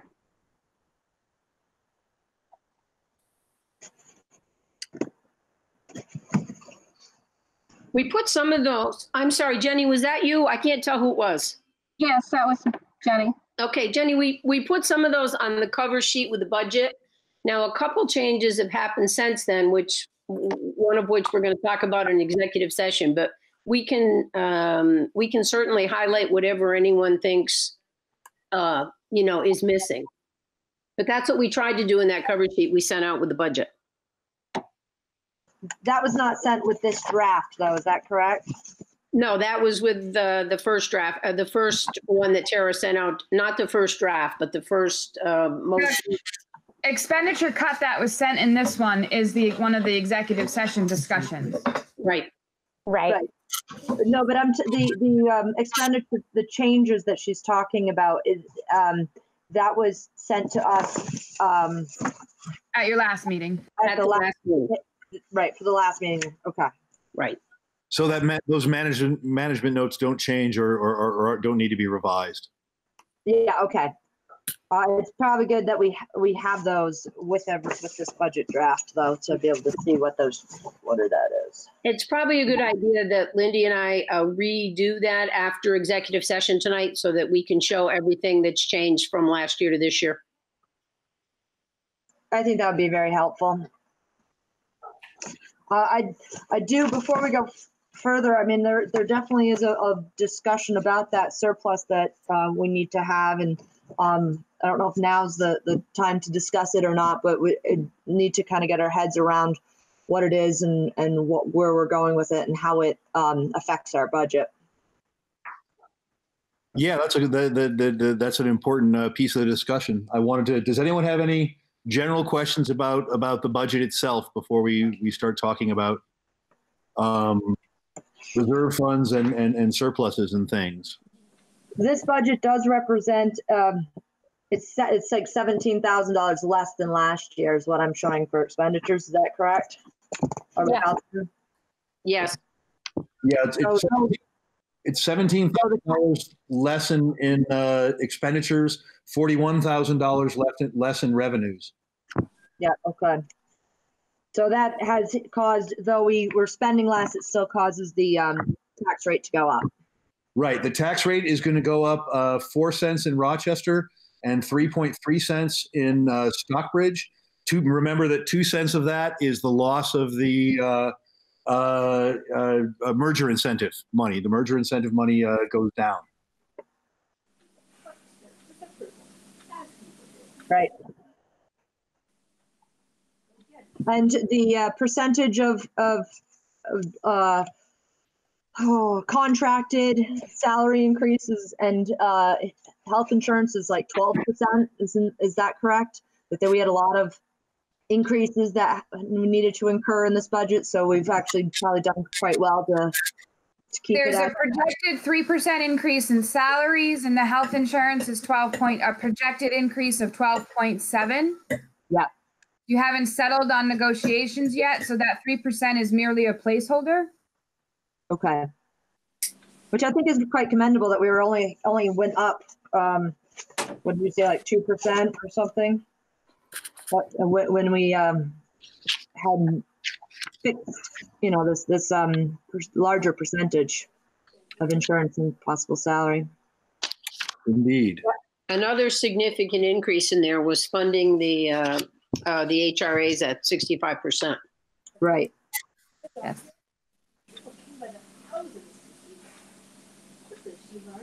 Um, so Tara, as far as, as as far as the surplus goes, I want to make sure that that uh, we're we we we all understand what's going on. We made in in in fiscal 19 while we set up three um, three restricted funds that the taxpayers approved, a Stockbridge fund, a Rochester fund, and a secondary tuition fund. The only fund of those that has funds in it is the Stockbridge fund, and that's like around 117 or something. I show in the FY nineteen audit a capital reserve fund that has hundred and nine thousand five hundred and seventy-two dollars in it. Okay, so because I, I don't have that, obviously I don't have that audit. I have the FY18 audit, which has that $117,000 that I showed. So we, we spent six, we spent down 6,000 bucks of it on something or other around Stockbridge. That was building, building related. I would have to go back and check, Carl. All I have is just the ending balance on my notes. Okay, and Was because, there a promise that got put in around that time or something? was that? Uh, was there possibly a furnace or, or some expenditure? The furnace was, the furnace was before that. The furnace Okay. was before Was it this, was it the soundproofing, Lindy, in the gym? No? Okay. Um, but uh, again, I didn't even know this fund existed until like four months ago. So I have no clue what could have been taken out of that. Yeah. Um, no, we've, it's, uh, it paid for roof and furnace. Uh, we, we, Stockbridge put away, um, um, surpluses, uh, No, it makes complete sense. I just don't know what would have been pulled out of it. Okay. Um, but and and and and correct me if I'm wrong, Tara. The, the the mistake that was made was that while the, the the funds were made, we never we never took and and formally told the taxpayers put this much money from from the the the, the disposal of dandelion daycare or from whatever into that particular fund. Is that accurate, Tara? Correct. So the sale proceeds from the Dandelion Daycare building have lived in your general fund since the proceeds were paid out in July of 2018. Okay. So that, money has been part of your general fund surplus for the last two years. But it's never been spent down, as far as spending down the general fund surplus. Part of your general fund surplus. Right, but so I guess what I'm confused about is legally we're supposed to either let the taxpayers to tell us put that money away, or we have to return it to them. Correct? And you would have used part of your general fund surplus that that money is included in when you did your budget last year and you used your prior year surplus to offset your tax revenue. Right. So I, And it's the guess same thing you're doing again this year. It's sitting in your general fund. It is part of the general fund surplus. okay. So what what you're saying is is that the the the actual funds were expended um, in FY19, and then we're, we we we can say okay, well we had another surplus in or we, they were expended in it was sold in in FY19. So they were expended in 19, and then we could still say some of this year's surplus could be that because technically, I mean, my my concern here is I want to make sure that we're not we're, we we didn't violate the laws by not returning all the money we should have returned. We did return it. We can just call part of this year's surplus that same funds and put it away. Right, because It is part of your general fund surplus. It is not separate money. So Right. when you're using your general fund surplus to offset tax revenue, the proceeds were part of that surplus. No, you did not use your entire surplus to offset your tax revenue, nor have you done so in this budget cycle at this point. Okay. And this budget that you sent out this morning, that hundred and forty-two thousand um, dollars is the um, is you know it, it includes all the. with- That's us giving back everything we we that, that's us not having the ability to allocate any money to um, a, a reserve fund. If we were going to all, if we were going to warn in this in this you know in this uh, uh, uh, annual meeting that we were going to put money away into any reserve fund, we would have At to. least that twenty-nine 152,000 thousand of a projected surplus. Say that again. Right now, right now, the projected surplus after we paid the FY eighteen tuition invoice that just came in was hundred and seventy-one thousand, nine hundred and eighty-seven thousand dollars. Right, and we're we, We're we, going to originally leave seventy-one thousand out of the surplus, which was roughly what your dandelion proceeds were. So that you could then ask your voters if you could move that money this fiscal year. But then last week, when we met, or two weeks ago when we met, we discussed the need for upgraded computer equipment.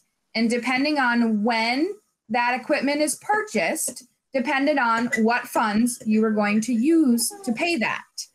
So if you pay for that in FY20's budget, it would come out of FY's 20's expenditure budget. If you were to purchase these after town meeting, after you had an approved budget, and after your voters said, yes, you can create this special reserve fund, yes, you can put this amount of money in it, you could then use those reserve funds to pay for those computers that we talked about before. So this is where you as a board need to make the decision as to how you want to move forward. You authorize the purchase of the computers because that is an absolute necessity at this point in time to continue distance learning. correct, That is what that $29,000 difference is. correct. And so that's where we came up with the one forty-two nine eighty-seven because we took the twenty-nine grand out of the one seventy-one. Exactly. Um, and we also think, and we had, we still don't have more guidance on this, but we're also pretty confident that because this is a COVID-related uh, uh, purchase, their computers were fine when they were uh, used for classroom instruction. They fail when they're taken out and and, and used for these these uh, group Google Meets and so on and so forth. Um, where you, you gave us guidance that you were pretty confident, and you couldn't obviously guarantee it because we don't have the the rules yet, but you were pretty confident that this would this would fall squarely in the, you know, getting all the, the getting all the AT and T hotspots and and getting the equipment that we needed COVID related. This would definitely be included in my submission as a COVID expenditure. Now, the last guidance I heard, and I, you know, I think it was Friday when we heard it, is that the COVID funds are probably not going to be released until after July 1st. So unless something changes in the state, that's where we're at right now. That is correct. Right. We would still. I mean, you would then have to, you know, it would make things uh, uh, more complicated accounting wise for you, correct? Because we would get the reimbursement. We'd have to, you know, credit it as a prior year and and, and do. Right. A couple more Yeah, accounting. it's be a business manager's nightmare for every business manager in the state of Vermont. So okay, so but it, so again, your guidance is that the, the the cleanest and most conservative way to deal with getting these computers is to uh, is, is to, to to knock down our surplus that we're bringing forward. So we're only bringing forward the 142. Buy the computers now, and then when we get the reimbursement, um, we can use it as a surplus going forward. Um, but we're not we're not buying the equipment to put us into a deficit position now. Is that- Correct. Okay. Right. You have funds available based on this year's budget projections for FY20. It does look like you are trending towards a surplus again this year. If everything goes as I, you know, as we had projected, but we all know how that's been working lately. Um, things change on a day-to-day basis with the state.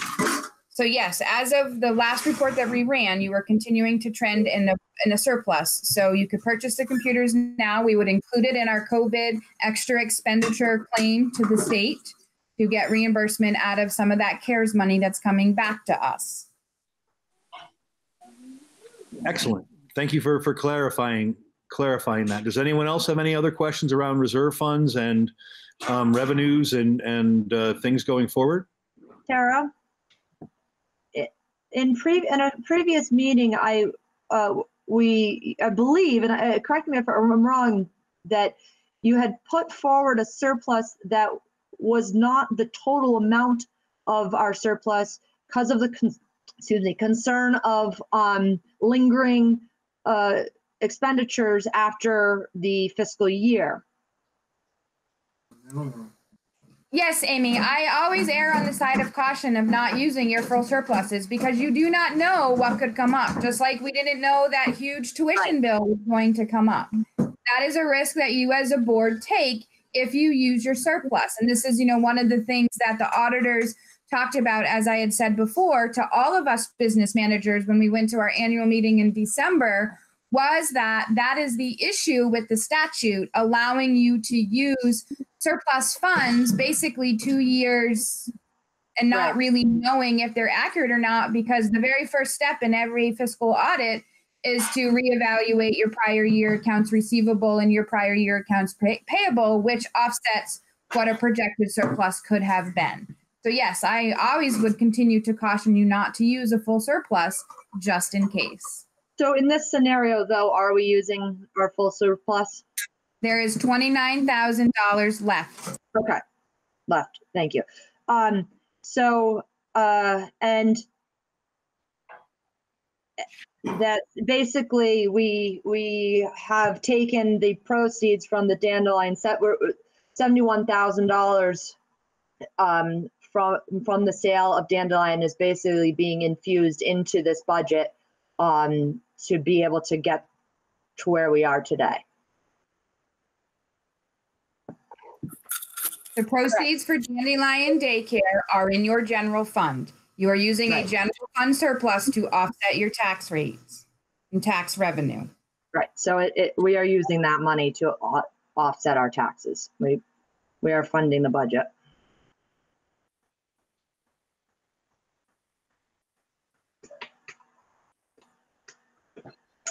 Well, that sucks. Uh, it was definitely not the original intention, but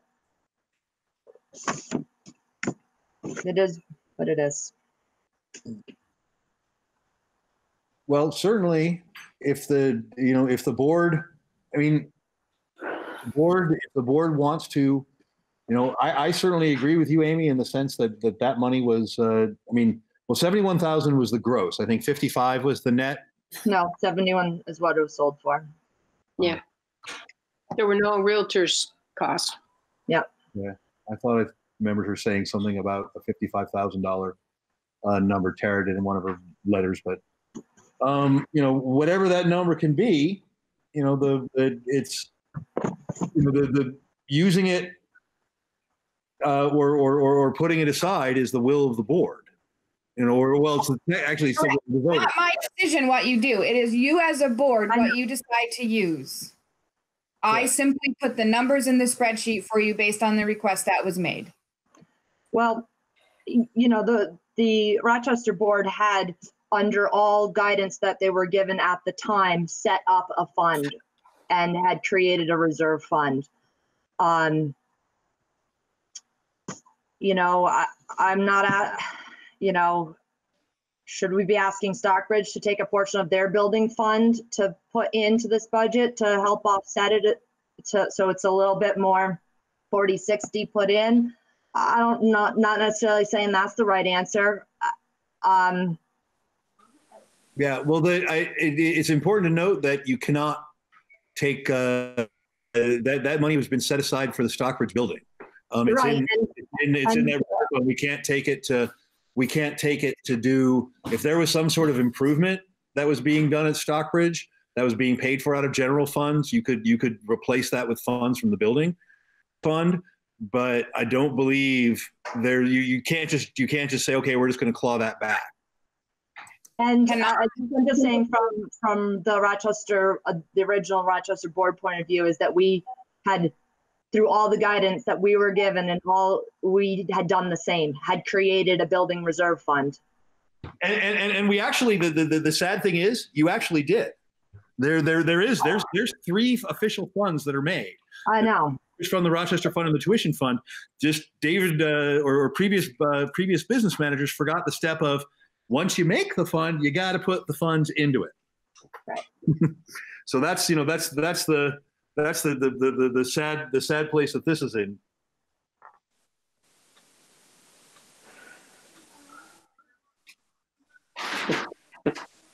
This Carl. Ay, ay, ay. Is there any comment, Ethan? So I guess the question is what guidance you want to provide if around that, Amy. I hear what you're saying. Well, it's, it's all about, it, it, it's about if this is, you know, Amy, if you think this is make or break. I mean, if this is really the will of the board that we have this money set aside, um, then we have to go back and look at this budget again um, and, and find a way to get it out um, because it's not being used as it should. I mean, this is what happens is things come up and we just grab from wherever the funds seem to be sitting around Right. and and um, if, if if that's not what we want to do jenny and janie and um, then we need to make decisions about that I, I appreciate all the hard work that our administrators have done to create this budget. And I I trust them fully that they have done what they, the, they need to uh, be able to educate our kids and to, for us to have successful educating kids. I- It sucks. It's, but I'm not going, I, no, I'm not going to say that the money should go into a reserve fund when it could be used for our kids right now. no but I, I I- do hear you i really do hear you as i Yeah. And maybe that's all is I just need it to be heard. I just need it to be well but known. Uh, i i mean this is a I have a lot of feelings right now about a lot of this, whether it's the building or the bu- building funds, or you know, the high school building, or what reality we're going to be facing this fall. Um, I, I, there's a part of me that thinks all these discussions, while we have to go through this because we're going forward, are are are completely uh, unreal in some ways um, uh, because we, we we don't know in so many ways what we're facing in the fall in terms of revenue projections, in terms of deficits to the education fundings. Um, Right. uh, so I, I, I, I mean, you know, a little bit of a bank account kind of Well, hurt. I, I I certainly would say that it's not a bad it's not a bad idea to have have a rainy day fund right now, um, and um, so and and may I and may I address a question too that has to do with the budget that was brought up in one of our questions by our, our public comment. Um, if if this budget got voted down and it was um, cut a cut a faculty member or cut a building, well, no, that's not a black and white question. Um, it's not like, well, of course we cut the staff member. Um, uh, you know, we we need to make a decision, and if we're faced with a lot of, uh, we're going to have some tough decisions coming up. Um, So I, I found the email that Tara had sent. Tara says that the uh, DDC sale prof, uh, pro, proceeds are seventy-one thousand dollars, um, less seventeen thousand and change for expenditures paid, less twenty-nine thousand dollars for the uh, replacement technology for uh, uh, RES. So that would mean she says you could move twenty-four thousand seven hundred and seventy-five dollars um, to to uh, a reserve fund. That's her. That's her looking at um, the uh, uh, uh, figures around the. Da- this is what this is her breakdown of the dandelion acres figure. That, but those haven't happened yet, Carl. Remember that was these are if you use these funds for these expenditures that are currently covered through your general fund. They have not been covered yet. They are still paid out of your general fund, the Black River, the ATC. Right. Um, and we've the those funds. You you said that those funds or, or the, the the the buildings the, the building study the engineering study is coded into contracted services right now as a- I set it up under its own project code so that we had it. So the two invoices that are in there are the Black River and the ATC. And then we offset the expenditure by $7,500 because we got that Efficiency Vermont grant. correct. So, right now, those those expenditures are just sitting in your general fund.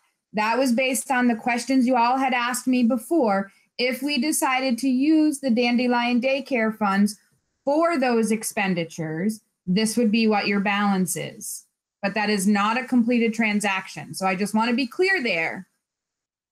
Right. I and I, I I understand that the seven but the seventeen thousand dollars seventeen one twenty nine for expenditures paid that is not is is is, that the, the that that's the Black River and the ATC correct Yes, less the $7,500 offsetting grant. right so so what what to understand what you what you sent to me first of all we have we have in the budget that you've presented you've got twenty nine thousand dollars that you've kept that, that you've kept out of the surplus Correct. Um, you say when you break it down, if you say, okay, we sold Dandelion Acres and we use those funds like we talked about to pay to pay for black to, to pay for the engineering study, and then we used more of those funds to pay for the Rochester teacher computers, we would have still remaining from the from the uh, DDC sale. You show a balance of, of, of twenty four thousand seven hundred and seventy five that's in our general fund somewhere. Right. So you would have to drop your surplus down. Right, but we we have the twenty five, the twenty eight, the twenty nine thousand dollars of off budget surplus. We would be left with a five thousand dollar um, budget budget uh, uh, a budget cushion of unapplied surplus if we put the twenty four. If we said okay, we're going to put the twenty four seven seventy five into the Rochester rainy day fund. Well, that would depend. That would be what was left if you used the Dandelion daycare proceeds to cover the 17,000 if we transferred that out. So you would have to get step 1. You would have to get your voters to agree to allow you to create a special revenue fund. Step 1. Step 2. You would have to get your voters to agree to allow you to move $70,904 from the general fund surplus to this special revenue fund. Step so that's what the voters would have to agree to. Then you as a board, once a special revenue fund has been established, the only way those funds can be used is you as a board have to authorize your building administrators the ability to access those funds. So then you as a board would have to say, yes, We want you to pay the Black River invoice. Yes, we want you to pay the ATC invoice out of that special reserve fund. If you did that, then you would have that balance.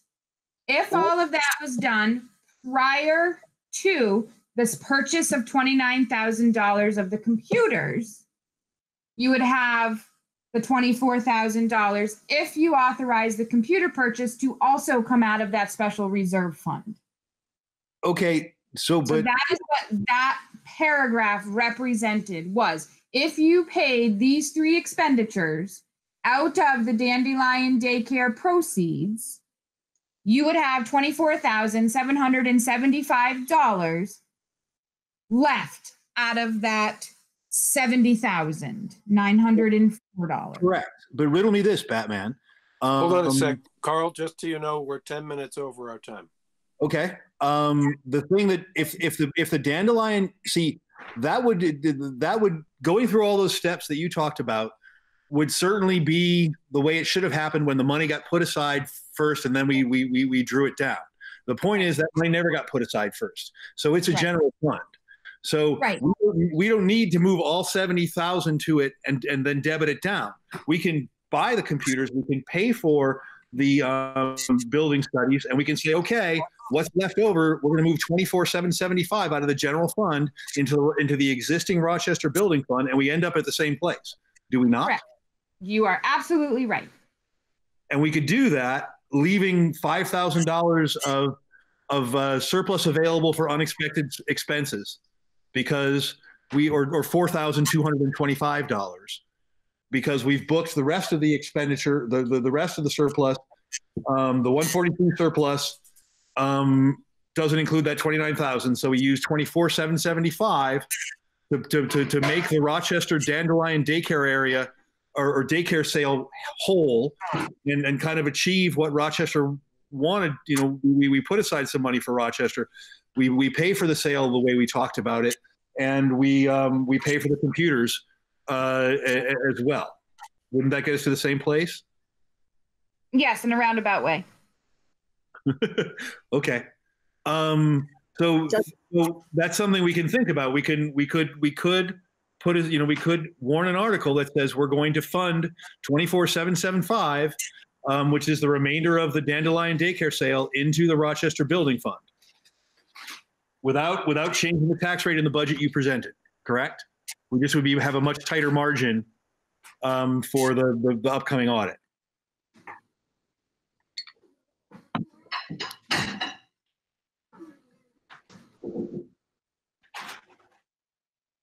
Is that correct?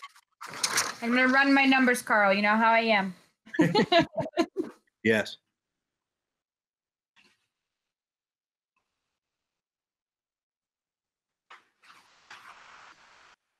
While you do that, I want to be mindful of the fact that we're over time. I wanted to talk next about what we've heard from the Secretary of State around uh, um, around our uh, vote coming up.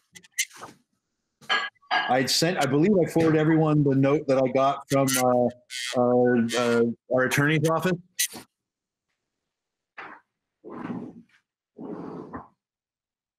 Carl, are you talking about what you sent last week? No, I'm talking about what I sent. Uh, um, uh, um, I thought I forwarded this to everybody. Um, let me send. I, I will. Uh, I will. I will. I will send it. Uh, send it out. I guess I did not send it. I was asking a question. Um, but so we have a couple things we need to do to make this to make this happen. Um, we need to we need to have um, uh, another. You know, if we if we assume to eh, we we, we need to uh, have another vote to approve a ballot, um, which we would then be mailing to all voters. Um, with uh, with a, a, a- return a, a- a self-addressed return envelope to be sent uh, to be sent back to us. Um, Is that the method you're going to pick? Because there's two choices in the way you're going to you can do this. Well, and you might want to ask Lori um, Scott, but Right. Um, you can, as, as the, the, the, the state was saying, their, their guy, or the guidance from the attorney is that, is that we should mail everyone a ballot and we, we apparently at this point still need to have a physical voting location. And Carl, let me chime in there. Um, the select board, as, as the board knows, asked to come over and look at, uh, the high school to see if there was a place they could find for the August primary and then the presidential election in November. They felt that those two northern, uh, the two classrooms on the northern corner of the building, one faces the parking lot, one faces the skate space, that they could easily set up uh, a voting procedure that they were comfortable with in terms of distancing and people not passing each other, et cetera, et cetera. Um, when I talked with the with the town clerk, her preference for the school board, and she was just weighing in on what she thought would be best, would be that if it, if at all possible, we follow for the school budget, the primary, and the presidential election, we follow the same procedure. So it's not confusing to voters what they're doing. So they're doing the same thing three times, whatever it is we decide. Okay. But they felt very comfortable about having adequate space in there to, to set up uh, in-person voting. At, uh, has the same assessment been made at the, at Stockbridge Central School? Uh, Lori and I haven't talked about that aspect. Um, so Lori, if you're still on, feel free to speak. I mean, we could we could make it work on the multi-purpose room, but you would have to do it on a Tuesday or a Thursday. I can't have people in there while they're doing food for families. Okay. Um, That makes sense. I, I, I, I, I uh, certainly hear you there. We can't, having people pass the multi-purpose room while we're making sandwiches is probably not the most, uh, uh, uh, best form of distancing. Ray? Uh, Carl, sorry, you did have somebody on mute. I wondered if it was the person Lindy invoked there, ending in on 11. They've muted again. Ah, I don't know. Uh, I, I'm not sure what Lori's uh, phone number is. No, that that was that was me. Um, I, I, I kind of agree with Julie um, on the Rochester side. Whatever we do, we have to be consistent, election to election, just so as not to confuse people. So that makes a lot of sense. Um, I don't know the whole setup in the school as far as the distancing and all that kind of stuff. So Lindy and I maybe need to have a conversation maybe tomorrow. Sure, we can do that. So they could they could speak intelligently about it. We can use that the meeting sense? house as well. Okay. Yep. But I think you, you've really got to have that um, separate in and out, so you don't have people passing each other and all that kind of thing. So just, I think we just have to. Okay. Um, beyond that, because so uh, if you recall, in April we passed the uh, resolution that allowed us to, uh, uh, if the board so desires, to have a uh, Australian ballot, um, uh, and we would obviously uh, be be in, in, in invoking that piece of it. What that means that's different for us is we need to uh, hold a public information hearing on the ballot items. It needs to be presided over by, over by the board. That needs to occur within 10 days prior to the vote. It has to be publicized by being warned. Um, the way that most towns seem to be doing this, the attorney says, is by uh, uh, Zoom or, or uh, WebEx or, or, or Google Meets. Um, the uh, uh, uh, the warning and the booklet, you know, obviously need to be to, to, to be mailed as well. And if we do if we do do a um, a, uh, a, mail out ballot where we the, the the current guidance from the Secretary of State is that that can be done. We can we don't have to wait for people to request a mail ballot, regardless of uh, if we decide to mail a ballot out. As I understand it, we are required to have a mail-in ballot available because that, by Vermont statute, is a requirement of, of an Australian ballot is the ability to vote by mail. So we have to have we we, we have to have a, uh, uh, an ability to vote by mail, um, and we have to have places uh, polling places open. With the, the, the, the guidance that we heard from Bruce on Friday at the the, the, the meeting. Bruce, is that still the case?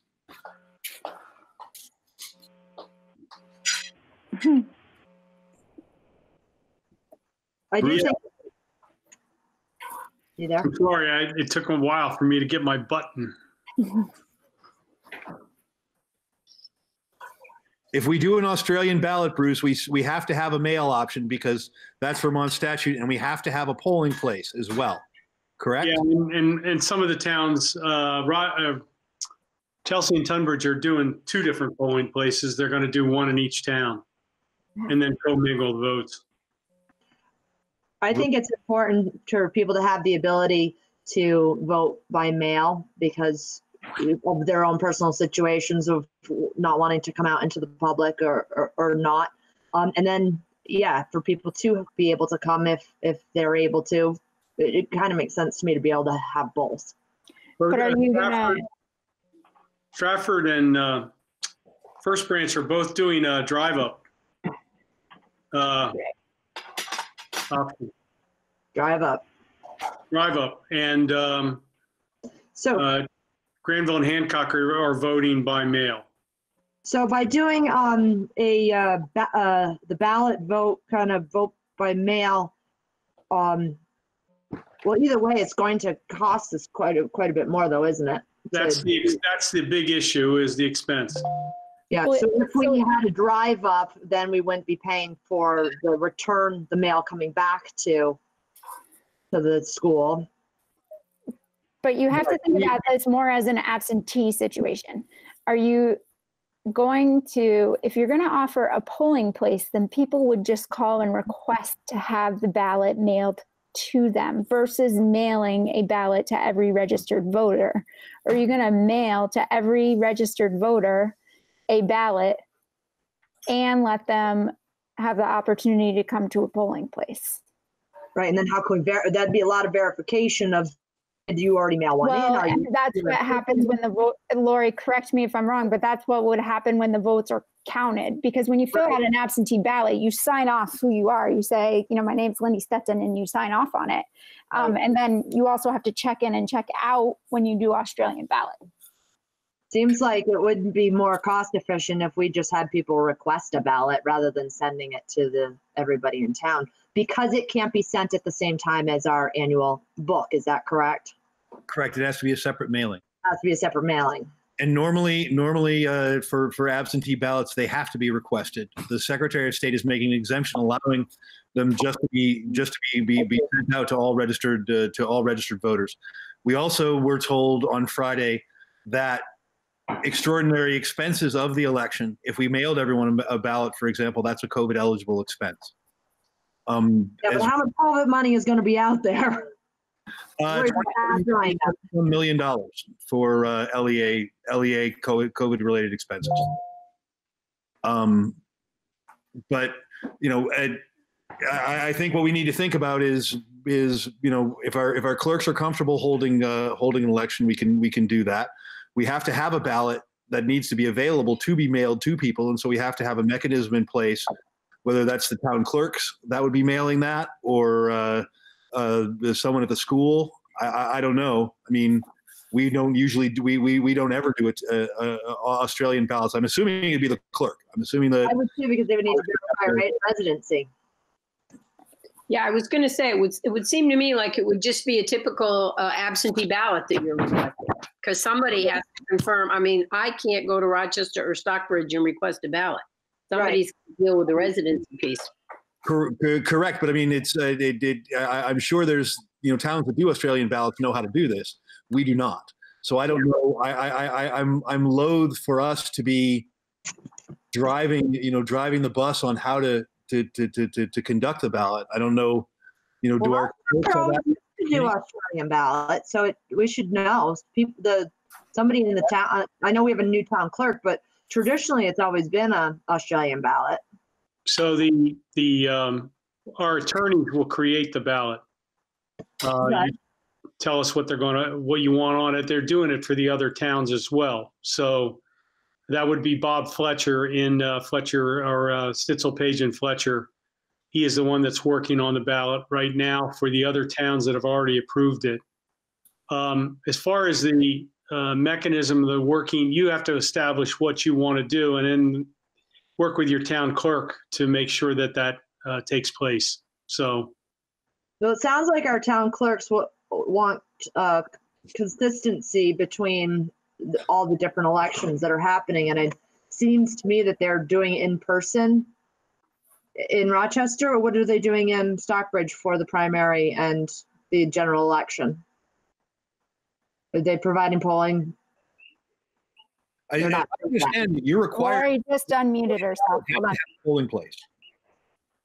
That's what Bruce said about Granville Hancock when they were trying to do everything by mail. He, he was Bruce was very clear that there has to be a physical polling place. That's the guidance that he's getting from the state uh, Department Secretary of State. Is that correct, Bruce? Yeah, because you're going to miss people, um, and they need to have a place to go to be able to be included. So we haven't fully decided what is what the, the polling places are going to look like for both the primary and the presidential election. Um, however, um, there are certain requirements as far as you know disinfection and sanitizing and all that kind of stuff that that still needs to be worked out. And we've got a little bit of time from you know for August, November, but I think the school the school vote is probably going to help give us some guidance in how that's going to work. The issue uh, is that you've got to get your materials out 10 days before the vote.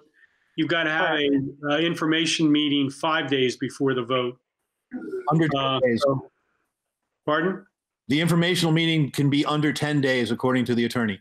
Yeah, well, within five, you know, five or more. So, according to Dina, Okay.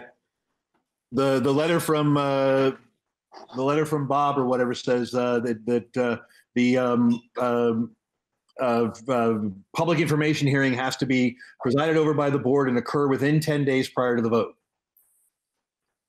So, and then it has to be warned at 10 days prior to the public information meeting. But we still yeah, have I'm to just warn. telling you what I've reported out to everybody else. So, we still have to warn 30 days out the actual warning, correct?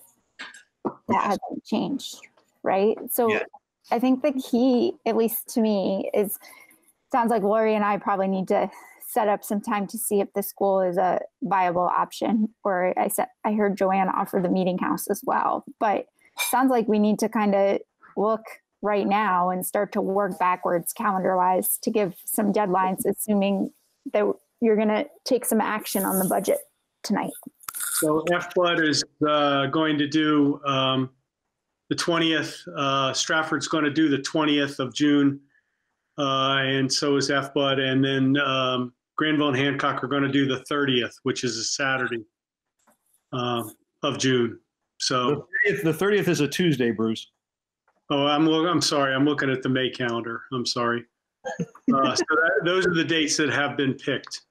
Okay, if we wanted to do a Tuesday or a Thursday per Lindy's request, we'd be warning the meeting for the 23rd or 25th or the 30th.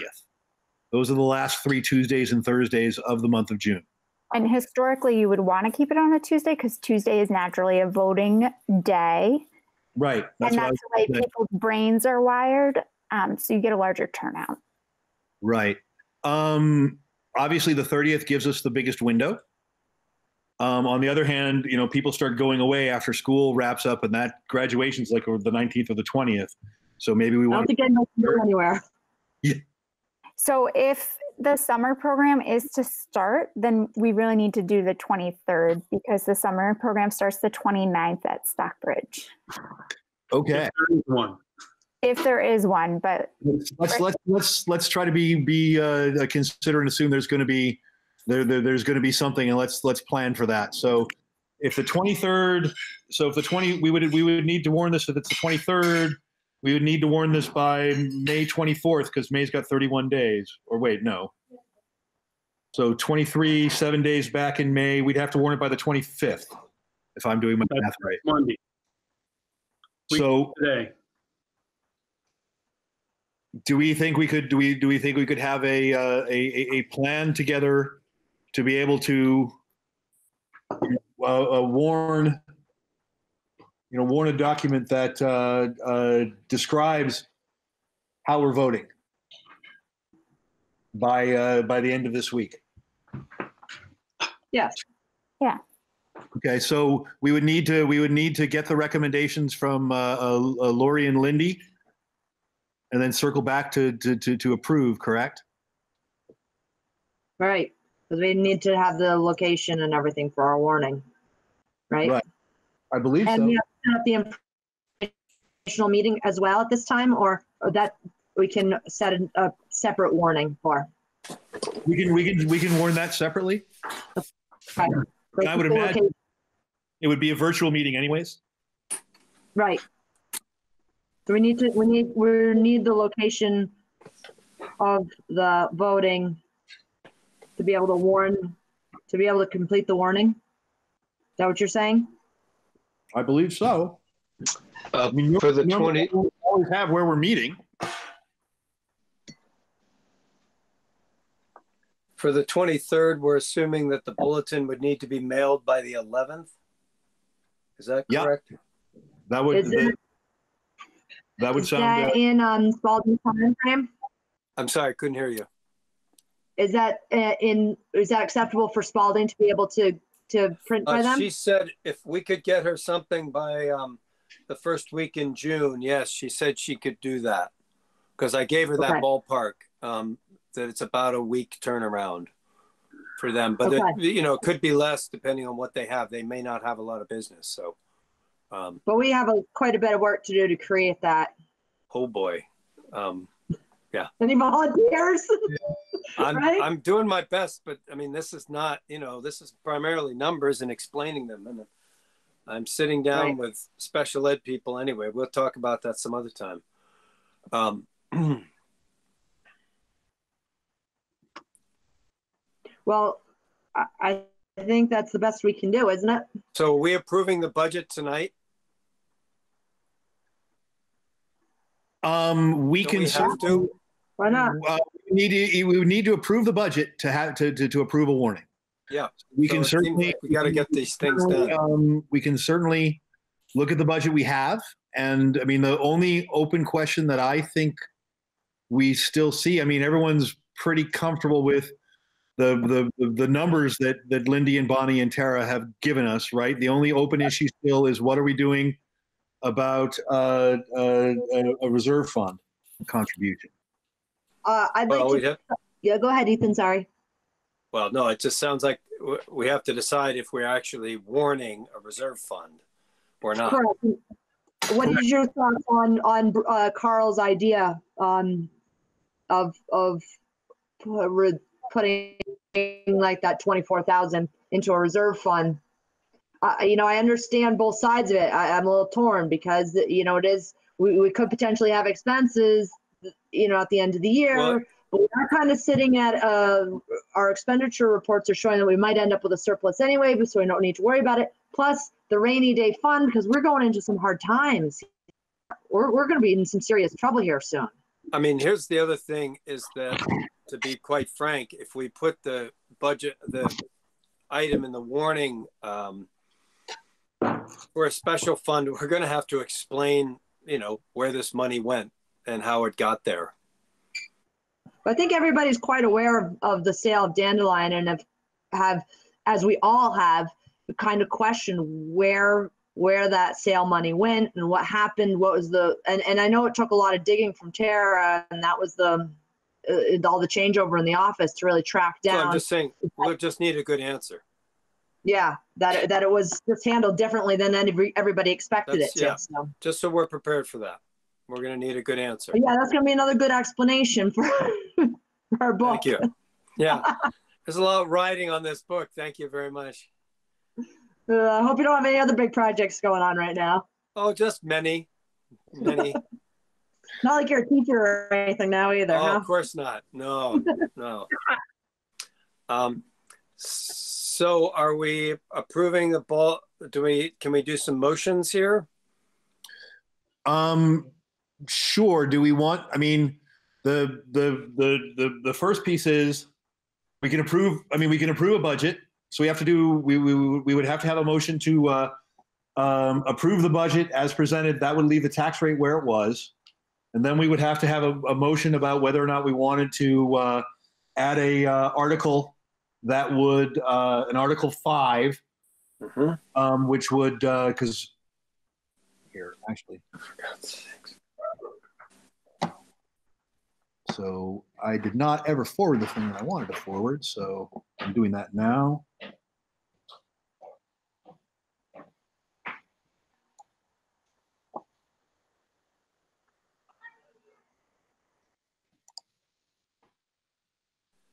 What details, let's take it one at a time. What details do we need to have in a motion that approves the budget?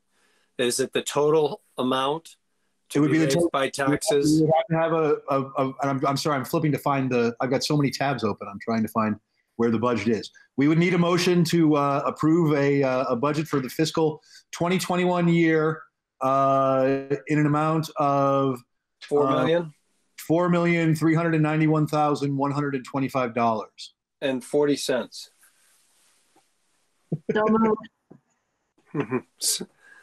I second it. A motion has been made and seconded to approve the uh, uh, fiscal 2021 budget as presented uh, today by Tara uh, in an amount of four million three hundred ninety-one four million three hundred ninety-one thousand one hundred and twenty-five dollars. Discussion.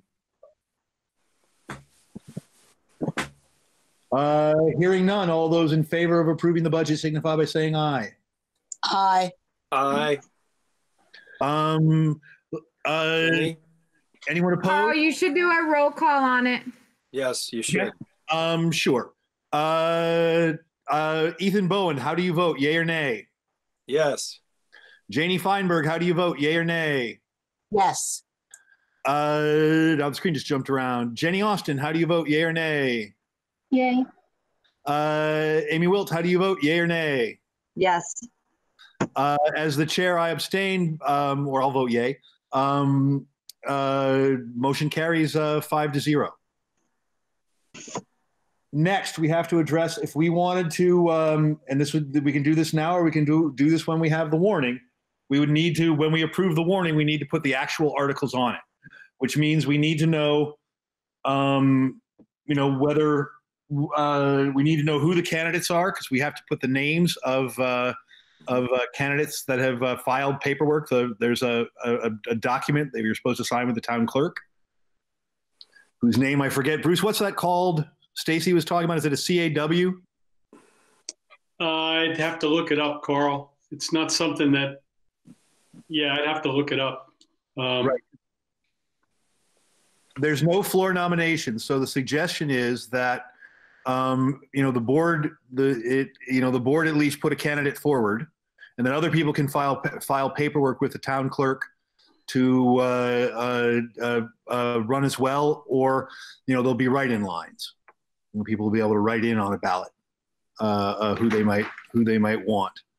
But the advice is that we have we have a candidate from each town for each seat. The board the board has put a candidate forward. Um, I am certainly willing to put my name on the Stockbridge line unless uh, someone else wants to, you know, is uh, really convinced that uh, there's there's a, a, a, someone else that should be there. Obviously, anyone else can go and, and, and get with the town clerks and uh, um, add their name to the ballot as well. So it is uh, indeed you, Carl, and uh, Megan Payne, whom, whose term expires in 2020. Okay, so Megan would have to fill out a, a, piece of paper. Assuming she wants to continue, she should fill out a piece of paper with the town clerk. Um, and I, like I said, I think it's a CAW form that Stacy Peters was talking about, but I, I don't have, uh, I, I, don't have those notes in front of me. And uh, Can somebody, um, she is not present at this meeting. Can somebody take responsibility for uh, letting her know this information? I will. Thank you. I just wanted to tell you that Dina sent a uh, annual warning, meeting warning to um, Carl, I think, and I got a copy of it at uh, 4:58 this afternoon. That's the thing. That's the thing. I thought I had forwarded. I'm trying to find it again to send it. Yeah, 4:58, Carl, and it was sent. Can you forward it to the board, please, Bruce? I'm I'm I'm trying to talk and read six things, and and uh, I, I have not been able to, to to send that on yet but yes, there's there's the, the spot where um, you know we got we have to elect a town clerk. We have to or a, um, uh, not a town clerk. We have to elect a, a board clerk. We have to elect uh, two board positions. We have to uh, pass the budget. Um, we have to have the language about uh, bridge loans, and then the fifth piece would be the uh, would be the uh, a piece about if we decided to add it about moving that twenty four seven seven five uh, into the Rochester Building Reserve Fund. Is, is, uh, I'm sorry, I'm confused. Is this something we can approve tonight or do we need a special meeting to do it before this date? We cannot we cannot um, approve a warning without improving the without, without approving the whole warning. We can't just approve question five of the warning. So we need a special meeting? We would. week? We have to have the information about the polling places in the warning. Okay.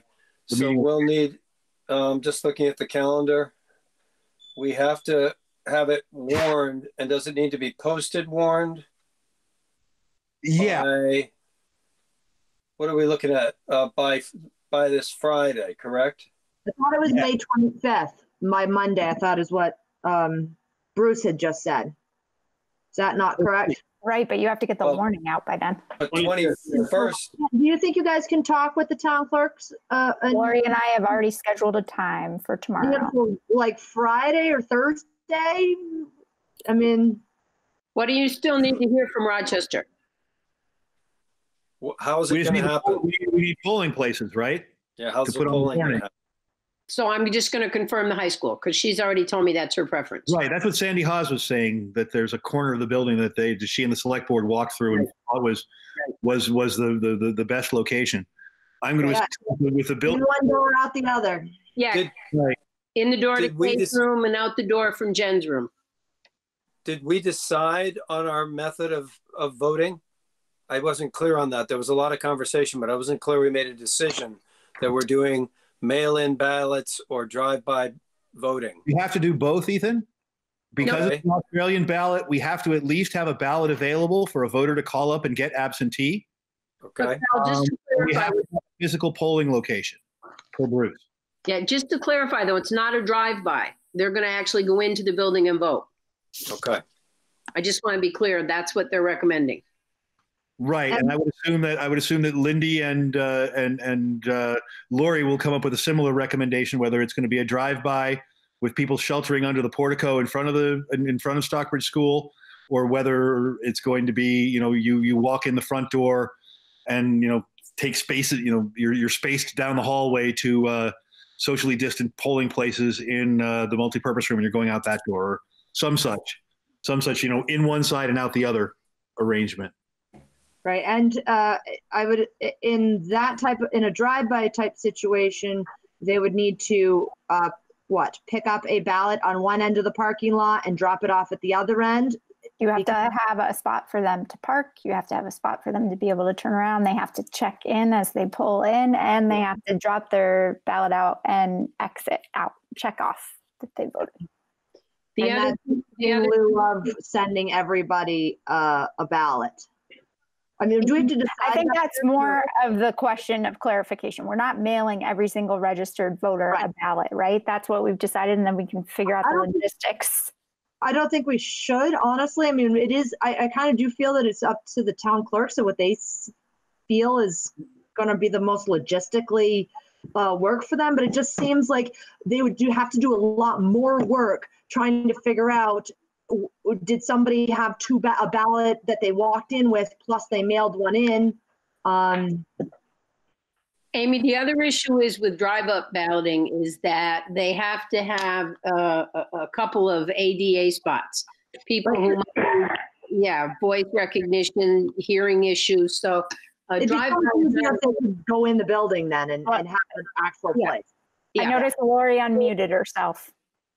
Yeah, so you really don't want to mail. Yeah, I mean, a lot of discussion in the clerks group is that you don't really necessarily want to mail to uh, an absentee ballot to every single voter because it's just, it truly is a waste of money because not everybody will vote. And you really want to make sure that if, if, if people need an absentee ballot, you've got a way and a mechanism for them to get one, but um, also that there is the ability for them to come in and vote too. So I think Lindy and I can have that conversation tomorrow and come up with a, a recon, recommendation that, that makes some sense both financially and, and logistically for the for the folks in town. Um, Wonderful. Thank you so much. Um, just a, a question. I'm sorry. Uh, Is it Leslie? Lori. Lori, sorry, excuse me for that. Um, Lori, would it be useful for you to have a conversation with Julie so we have some consistency between that, or is that between Bonnie and Lindy? That conversation. No, sure. I, I can. I, I'll give Julie a call too. That'd be great. Thank you so much. Yep. I just sent you the warning uh, that Bob Fletcher sent. I hope you got it. Uh, Lindy and Bonnie, I sent you copies as well. Thanks, Bruce. Thanks, Bruce. So are we at the point that we are either A, approving more to go on the warning or B, moving on? Um, we would, we, uh, again, we don't really, uh, if we're not going to do the entire warning today and we can't. it seems, Okay. We'll Move on. Then we're moving on. We need to move on. We Can can't. we Are we- the meeting are of we the board for meeting- first warning now? I'm sorry, too many people. What? Go ahead, Lindy, sorry. I was gonna say, when are we trying, are we trying to meet Thursday? Oh, good, you were saying the same thing I was. I figured we were probably talking about the same thing. And is it a meeting? Uh, Tara, like, what's Tara's calendar like and Bruce's calendar like too, if they need to be present for this? I, I- don't know if they do. I'm just asking. I don't believe, I- I, I believe that if they have any concerns, I think they know our direction and they know that we're going to be, you know, taking a document that, that, you know, and, and filling in, you know, polling place X, polling place Y. Um, Can, and can and we at least talking about- email it to them in the day? So they One of can the have things- some, One of the things that we can do that I've seen before is that we can draw up a draft of that warning. We have one from the attorney. When are you doing this, Carl? Everybody? That's what I was Friday. asking, Chair. we have to do it by Friday. So I have board meetings every night this week except for Friday. Good, no so date night. Thursday night, if you wanted to do it, you would have to do it after the full board if you want my participation. Which is about 645. So you could schedule it for seven to be safe because we got some issues, Bruce. Don't you think that are going to take up some time this week? I don't know of any issues. Well, you read your emails. I'll um, send it to you again to I'm not gonna remind you. my email right now. no, no, I'm not. What insert in mouth? Carl raised, got his hand raised. I'm, I'm not seeing anything on the board calendar for Wednesday. Am I- Are we There's missing nothing on Wednesday that I know of. Tara might No, have. we can't. I have a meeting Wednesday night, Ray, for another board who's trying to get their books together for their annual meetings. Remember, I have four budgets that still need to be approved, so I'm doing the same thing for four boards. Um, just No, so I you know, understand that. It's just not on the board calendar is all I'm saying. Because it's not a full board meeting, it's a committee meeting. um, we are also trying to give till Friday to our town clerks and our principals to pull this plan together. Is that correct? Yep. Or can we get information um, sooner than that? And we have to have it written out. And who is doing that writing? I mean, I'm, I can write what's going to come out of Stockbridge, what Lori and I managed to come up with. Okay. I think I'm gonna have, I think So- I'm gonna have to have, The warning is the, the, the warning is that is, is the only thing that really needs to be done by Friday. And Yes. that, that's a template. Who's doing it? Um, Who's doing it and who's presenting it? Um, the attorney has done it, and we would be uh, we would be reaching back out to the attorney again and get it, getting a, a you know giving him that information, and then they would produce the the, the, the document for us, and we just say, I mean, the, uh, the that we like it or we don't. We can probably I will probably say we want a version that uh, uh, talks about uh, putting twenty four seven seven five into the Rochester Building Reserve Fund, and a version that doesn't, and then we can make that decision. We'll have the document. We'll have both documents. Okay. So, so we're, we're good. Then we could meet on a Thursday night after the full board meeting to approve this. Does that seem feasible, Bonnie, Lindy, and Lori? it does to me because all we're doing for the warning is determining where the place is gonna be. The, the, the plan will get worked out later. Who sits where, who stands where. Are you what- adding other articles to the warning, Carl? Because if so, we're going to want to get that language down to Robert. Right. That's what I was So you saying. can We- add them? I'm going to I'm going to write to him and, and say, you know, we want one that has a version that moves 24775 to the Rochester Reserve Fund and one that doesn't, because that'll need to be a separate article. That'll be Article Five. Okay. The template he sent has four on it, so I'm gonna I'm going to reach out to But you have to have two articles. First, you have to have the article to create the fund. We already created the Then you have to have the article to move the money. We already created the fund. There's a build. We created a building fund for stock, building fund for Rochester, and a building fund for tuition, secondary tuition. That was all passed in the. Uh, I could send you the minutes, but it's in Joanne's minutes from our very first, uh, very first meeting. The part that David left out was the second piece of that, where you actually. Oh, so this is not the special revenue, the special education revenue fund that you created as a board that you wanted to move those monies to? This is, you're putting it in an already created fund? Yeah. Carl, for the warning, you just need to know the location and the times. Uh, yeah. Okay. That's all I needed to know. you know, and when the just the the so by and by time because it's it's it's it's an Australian ballot, it's a it's a fixed window. We would need to know the start and the stop time. Right. So, um, does everybody want to think a little bit more about that building reserve fund? Um, or is there any reason why we shouldn't just do it right now and then we don't have to make him create two documents and spend more money? Um, I don't think it's gonna be too much more money, but we can certainly, if we want to. Just Uh, wondering, if people want more time, that's fine. I just, eh, you know, uh, trying to make Thursday night's meeting as quick as possible. Okay. Um, if I I'm I am uh, uh you know we can certainly do is it. 10 to 9. Okay. What is I mean what is what what's the goal for people? Do we want me? Do you want me to just get the warning that has that fifth article on it? Um, my two cents is that at this point, and with the uncertainty of the future of finances, um, I really don't know that it makes any difference um, where the money is right now. Okay. That is certainly we are. You know the the uh, best guidance is that we're twenty some cents uh, is going to get added to to to our taxes. And I guess here's Amy, my question is: Is it important that that fund be funded be, to carry on the lineage, or is it important? I mean, what what is the importance? Just because it was said to be done and thought it was done, that it should be done to complete it, or is it you really feel that that money should be there? Um, I think it's probably a multi-faceted question there. Um, you know, it, uh, so why do, maybe we should just table it for now? Okay.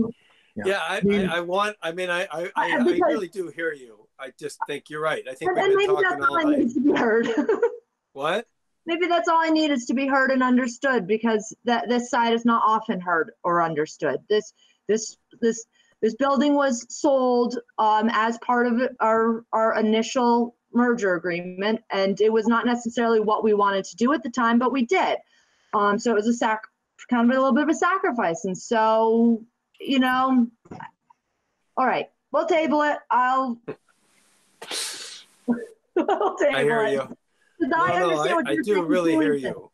And I understand what you're saying too, though. Like we need, to, we're, yeah, I understand that, and so that's what's kind of tough. So, all right, Yes. Now, understand that uh, b- b- uh, before we completely walk away from this question, understand that um, you know it's a separate article, so you know it could be voted up or down. Uh, uh, you know, independent of whether it's voted up or down.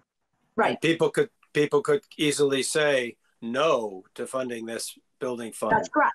Exactly. would- maybe we want to leave it up to them. You know, that's another way to do it. Let the voters' will be spoken. That's always a very good uh, premise. You know, Right. that we put it out there and we have to sell it in our in our informational meeting. And that's why I said we, we need a good answer.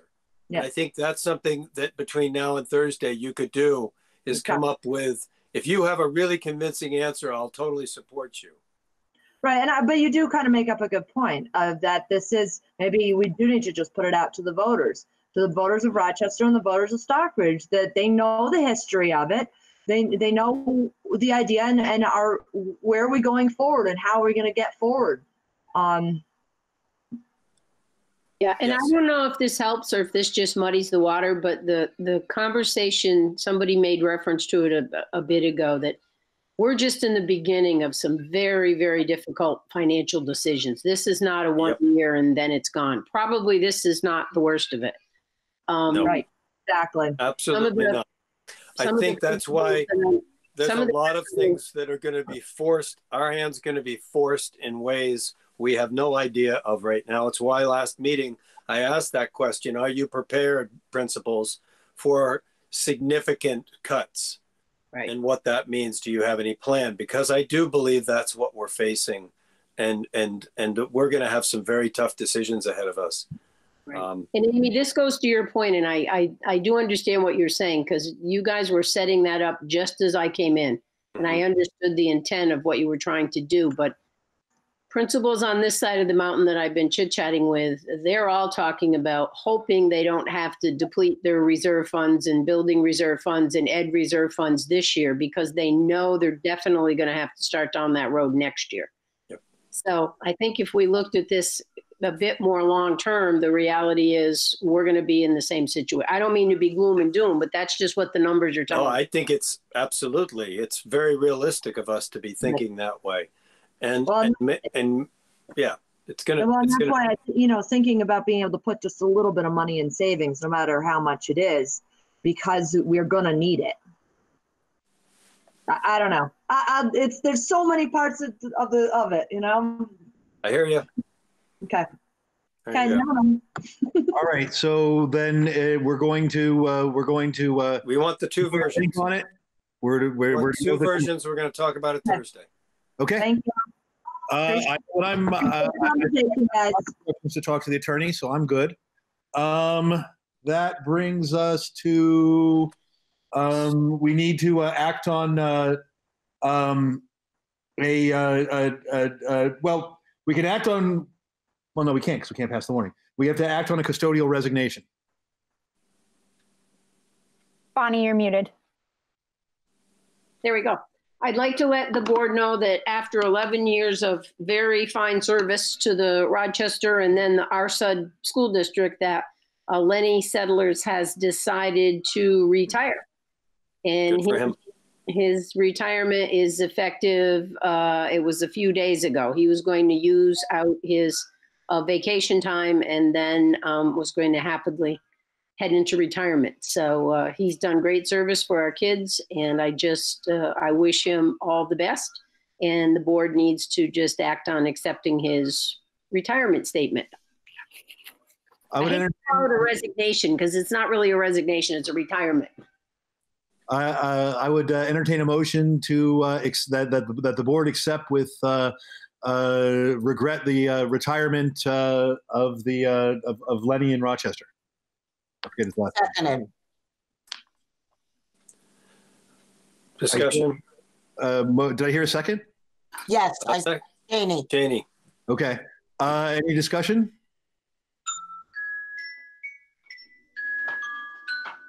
Um, let the let the let the minutes reflect that the board uh, the, the the board is uh, very grateful for uh, all his service and all, all the work he's done with our facilities and and and, and for our kids. Thank you. Oh, thank you, Bonnie. You're welcome. All right, we now have uh, uh, the uh, second period of public comment. Uh, uh, again, this is a 20-minute uh, block of time. We're going to ask everyone to uh, speak once and to uh, keep any comments to uh, uh, five minutes or under. Um, we are at two and a half hours uh, uh, of this meeting. Um, so uh, if anyone has a, a public comment, uh, star six to uh, unmute.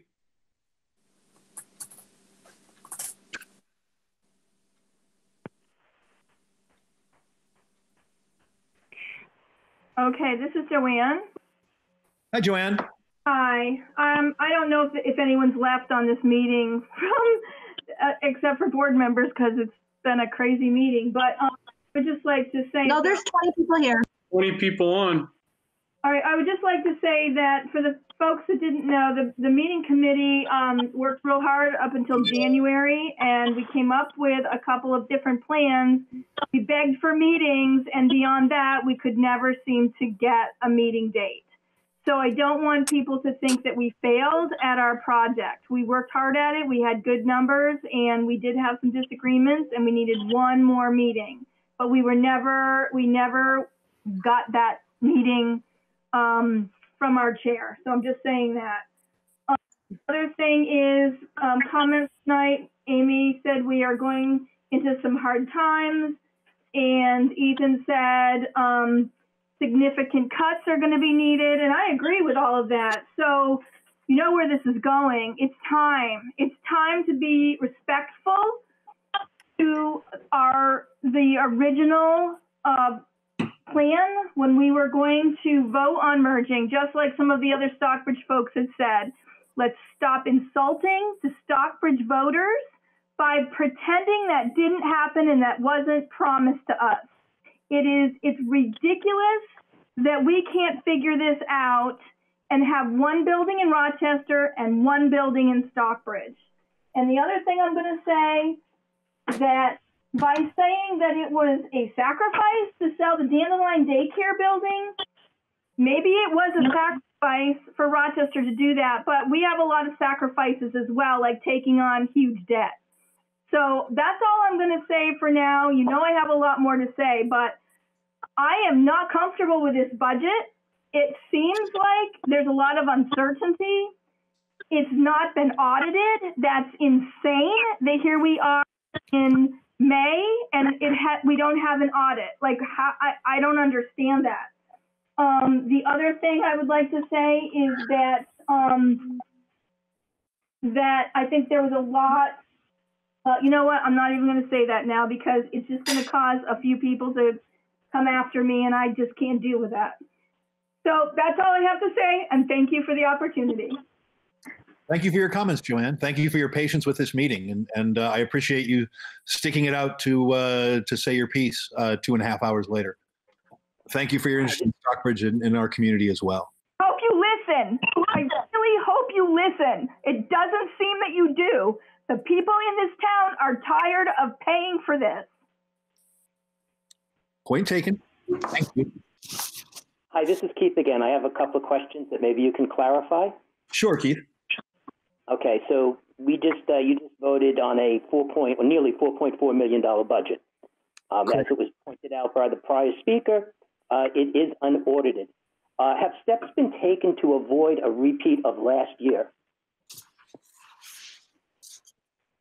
Uh, I believe so. Our business manager has a, has assured us that she's had more time to be working with the numbers and to be, uh, in particular, um, tracking all the uh, uh secondary tuitions and making sure that um, we are getting the uh, appropriate uh, equalized people count that led to the, the, the, tax bill debacle of last year.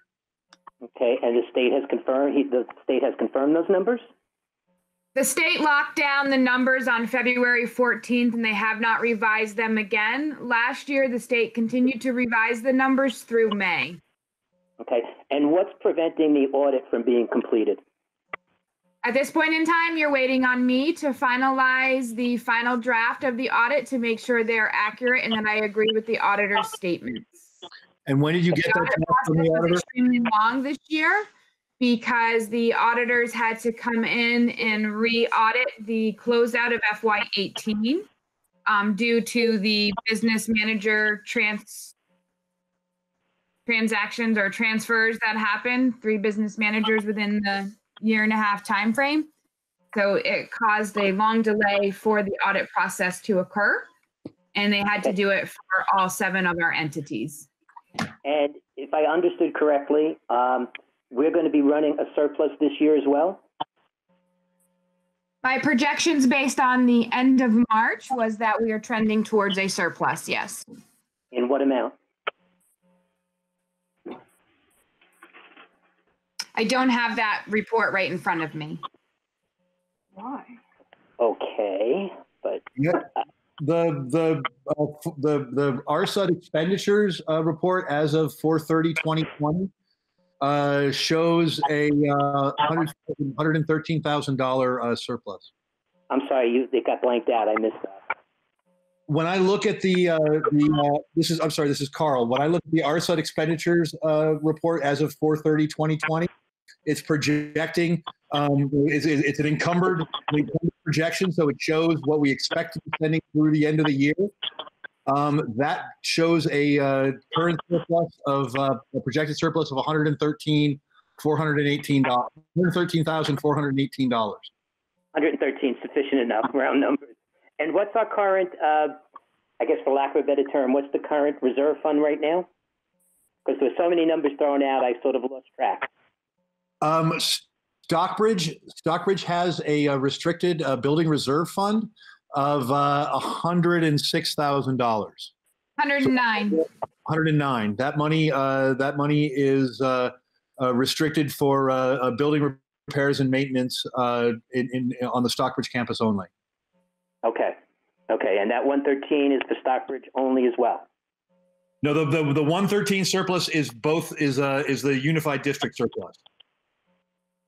Okay. And how does that money get applied to each of the two uh, different districts?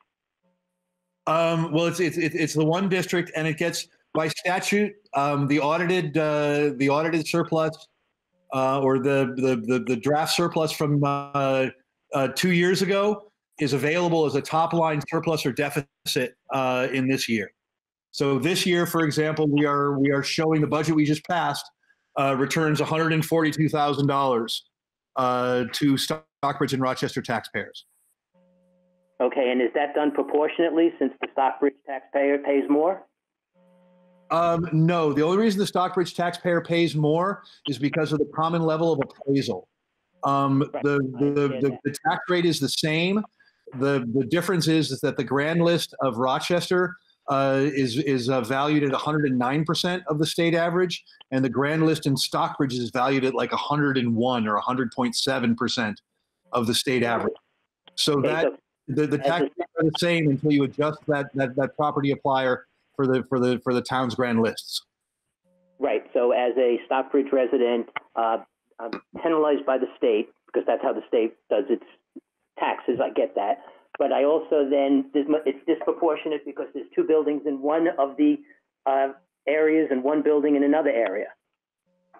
The budget does not take the budget does not take that into account. The budget treats all the assets of the unified district uh, equally. Oh, so in other words, you spend ten thousand dollars on the Stockbridge building repairs. You won't spend more than ten thousand in Rochester. Uh, we we spend uh, the we we we we spend the uh, building repairs that uh, uh, the administration asked us to spend based on the the, the needs of the building. Okay. Um, and also, I there was like somebody said something about a three point three cents. Uh, was it three point three cents increase in your tax rate? Was that correct? Uh, there is a, uh, uh, three point, uh, a 3.34 cent tax increase in uh, Stockbridge, and there is a 4.1 cent tax increase in uh, Rochester. Okay, so so that the tax rate is projected to go up 3.34 cents for the Stockbridge residents. Yes, and two cents of that is the loss of uh, merger merger incentive. The merger incentive was six cents uh, last year. It's four cents this year. So the the, real increase in spending uh, in, in tax rate is 1.34 cents in Stockbridge and 2.1 cents in uh, Rochester. Okay, and how does it work when a, the school district floats a bond? How do the obligations pair out? Um, the obligations pair out to the district. Um, they do not pair out. They do not pair out to the town. So we could not. Uh, you could not have a separate bond for uh, uh, uh Rochester residents. You could not have a separate school bond because you could have a municipal bond. You cannot have a separate school bond for Rochester residents versus Stockbridge residents. Okay, and if a t- point in time came where Stockbridge decided they just wanted to break away from the union, how would the bonds be handled? Uh, yes, you can. Uh, um, you can. Uh, there can be a vote to uh, to dissolve. Um, it has to take place, and I'm I, I'm I'm remembering what the attorney said about this, so I may not have the steps exactly. But first, the first uh, uh, Stockbridge in this case would, uh, if Stockbridge chose to uh, to have a vote to remove themselves from the unified district. Once that passed, the same question would then get put put to Rochester voters. Okay, so how would uh, how would that be initiated? Um, you would need to uh, warn a special meeting, and I want to say, I, I I couldn't tell you off the top of my head. I can get back to you, Keith, but I can't tell you off the top of my head the percentage the percentage of voters that would have to petition to have a special meeting. Keith, I can uh, email you. I've been in contact with some of the state education boards, and I have her, her emails of step by step what it would take to get out of the merger. Okay, but if, Is if that I, the the letter from Donna Russo, Russo Savage, the, the AOE attorney? Yeah. Yeah, then that's the yeah that's that's that's Bible then. That's that's that's the the proper information. okay, but and if I understood what you had just said earlier, if the Stockbridge uh, community voted to uh, want to leave the district, it could only happen if Rochester agrees. Yep. Yep. So basically, And they have more votes. Okay, so basically, if the union benefits a portion of this union more than another portion, dissolving the district really isn't feasible under the current contract. Well, it's important to say that uh, the state board is also going to be involved in this. Um, if you remember, in some of the cases, they forced boards to merge. Now, that wasn't in the case for us, but that was in the case for some of the ones that were late, like Barre City and Barre Town and others. Um, so they're going to get a say in this as well. Uh, it, it's not going to be just what the town does, and they and they get that because they believe that they give educational funding through the ed fund to the towns and have some stake in this. So um, that's a part of the process. Okay, I only ask these questions because as time goes on, we just seem to be stuck in the same position. And eventually, somebody needs to take a stand where, you know, we either have to get out of this or move it forward. Point and taken. Times, and times are getting difficult, not just for the school district and the children. Times are getting difficult for the people who live in Stockbridge and Rochester. I mean, they're suffering too. And all of these considerations need to be looked at. And every year, you know, this goes up 2%, this goes up 5%, this goes up 12%. Same thing happens to me. My medical insurance went up 15% last year. I get it. Things cost more. But you can't just constantly come to us taxpayers and say, well, it costs us more, so you got to pay more. Where do we get the money from?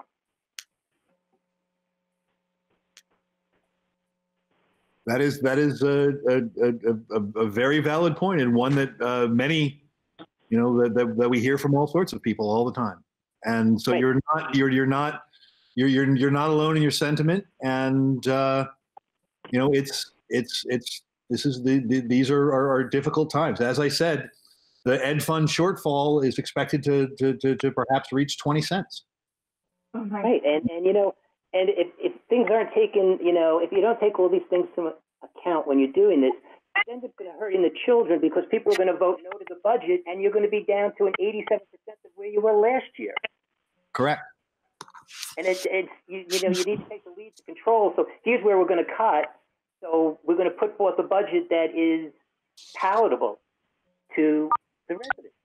Otherwise, the residents are really going to reach a point where they're just going to say enough's enough.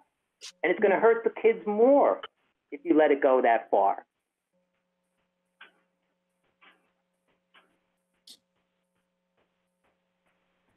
Uh, as I said, your your your your point is very well taken.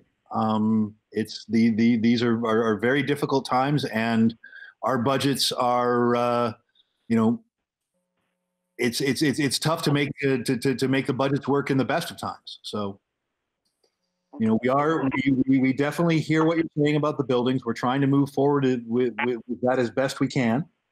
Um, you know we uh, we we're trying to put forth I mean, in dollar for dollar expenditures, this budget is, you know, it, it's twenty thousand dollars less than you spent last year.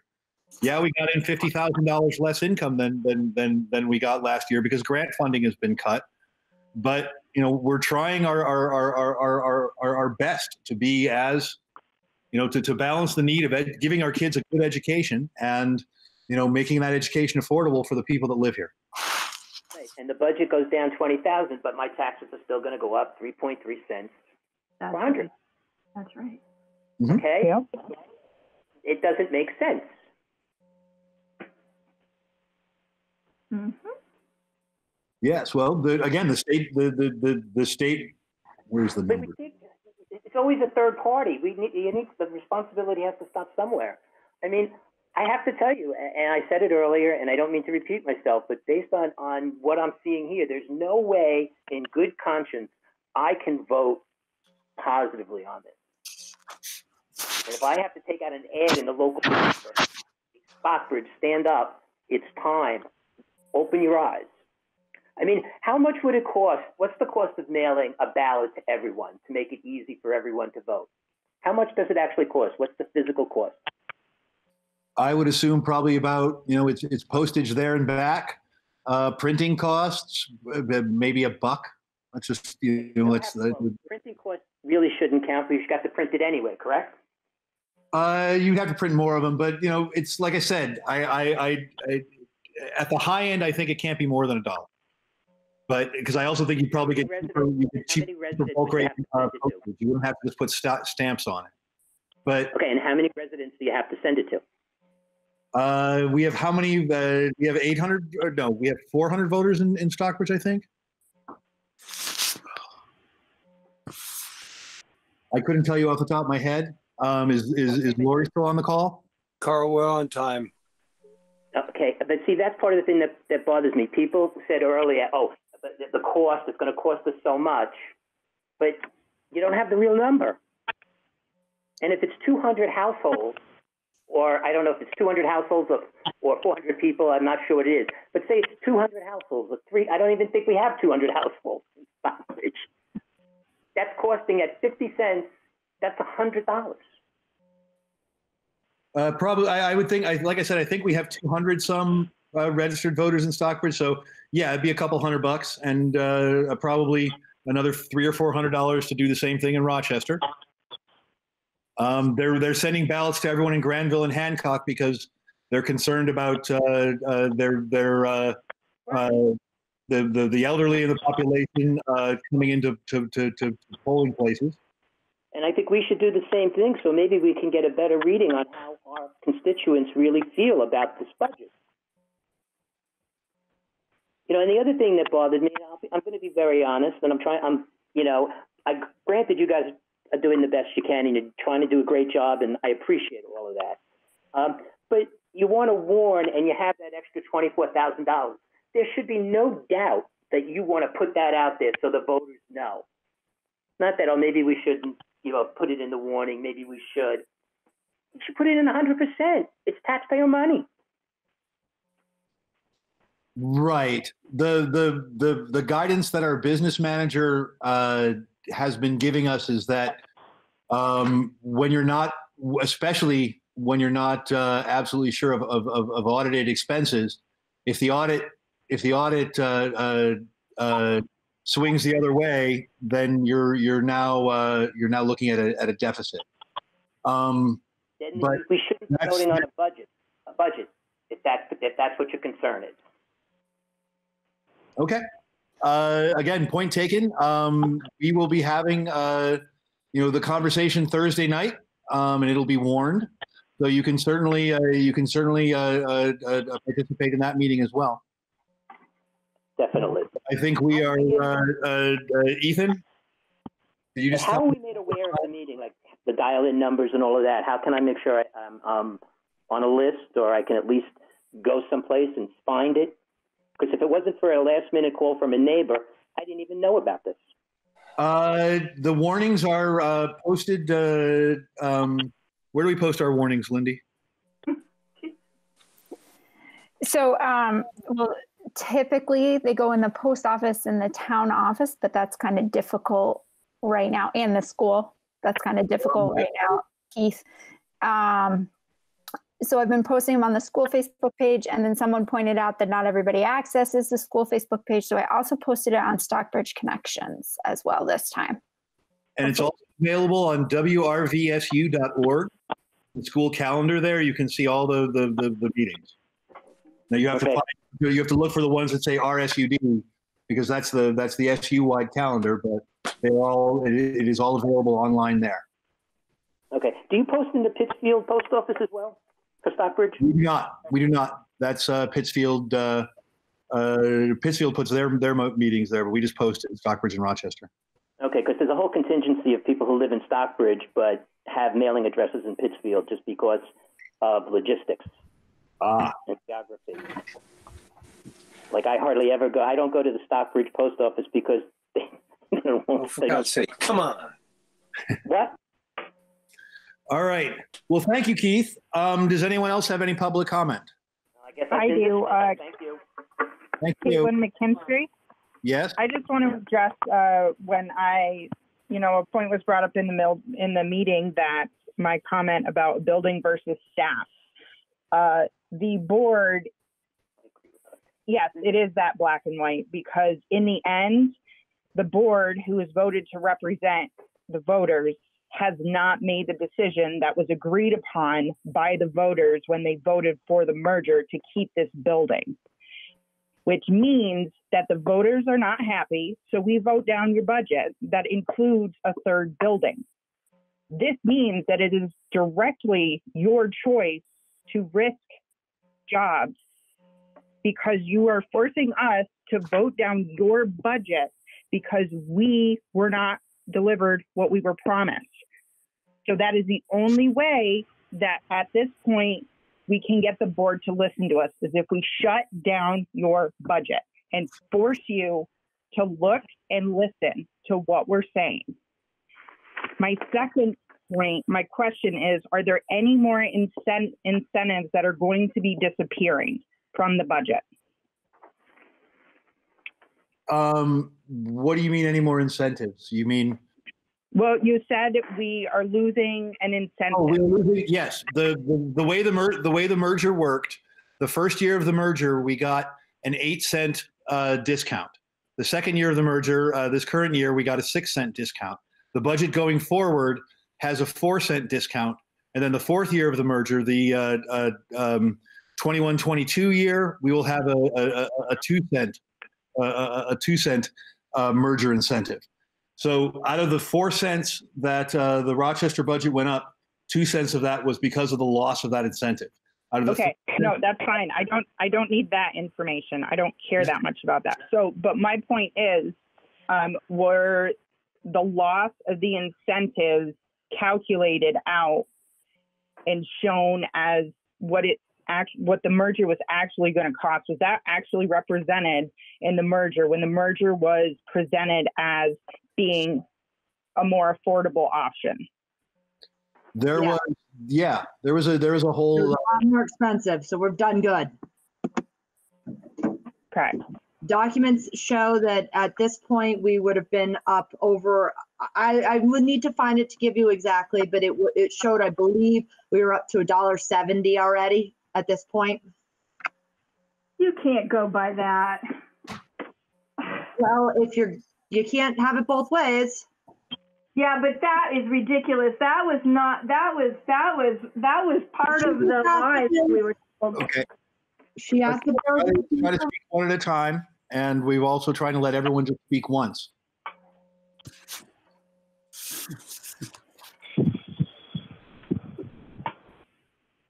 Right. So thank you, uh, uh, uh, thank you for your thoughts. Um, does anyone else have any? Well, if you'd let me speak, I have one more question. How far the threshold are we monetarily? Uh, this budget. Or do you have that there? Give me a minute. I can find it. Carl, the problem is, is that she doesn't subtract out, I believe, all of the possible um, deductions that we have. It, she only reduces enough to get us there. You see, if you go down, if you add them all together, of what are all possible uh, deductions for the teacher's retirement and all that. It was a simple question. How much under the, I mean, I- we're, I- we've got yeah. a budget. You've all approved it. How much under the threshold are we? The threshold is eighteen thousand seven hundred and fifty-six dollars, and the per pupil spending with this budget is eighteen thousand eight hundred sixty-three dollars and eighty-five cents. So two kids could move in, two high school kids could move in, and we're done. We're over the threshold. Yep. Am I right? Um, no, it doesn't exactly work like that because when they if, if high school kids move in, they also raise the ADM uh, actually a little bit higher than uh, than their actual count because a high school kid counts as like 1.3 as an equalized student or 1.2 rather. Okay, so three. It would it- it- you know, yes. it What would we're it's a pretty tight budget. If if Carl, I within actually think- $1,000, that's pretty tight. Carl, I actually think they set whether you're in the penalty or not at the, based on the budget that you approve. I don't believe that expenses you incur after a budget has been set, such as pupils moving in, push you into the penalty.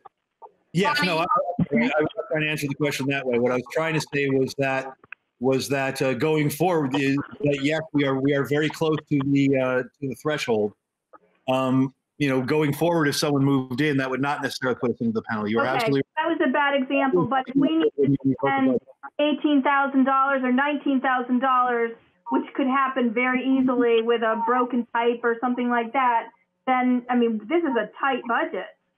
It is. Because we want to have the, we, we, we, we, we want to, uh, you know, keep the spending to a minimum. Wow. So this is okay. This is Rob Gardner. Is uh, have I got a space? You do, Rob. Go ahead. So I just- I only wanted to say two things. First, that uh, it's it's great to hear from Joanne again, my partner on that committee, and I would disagree with her as to her uh, impression of the um, of the success of that committee. I thought it was a failure. And second of all, I just want to thank you guys for working uh, on this difficult this difficult work. I know how hard it is for you. I appreciate all the time and heartache you're putting into it. That's all I have to say. And good night to you too, Joanne. God love you. Yeah, I love you too, Rob. Okay, thank you, everybody. I think uh, I think uh, unless there's someone else that has has not spoken and has something uh, to, to to to add, uh, we should uh, adjourn this meeting. Our we have a special meeting uh, uh, that we will warn for 7 p.m. on uh, uh, Thursday. The uh, what's that's the 21st.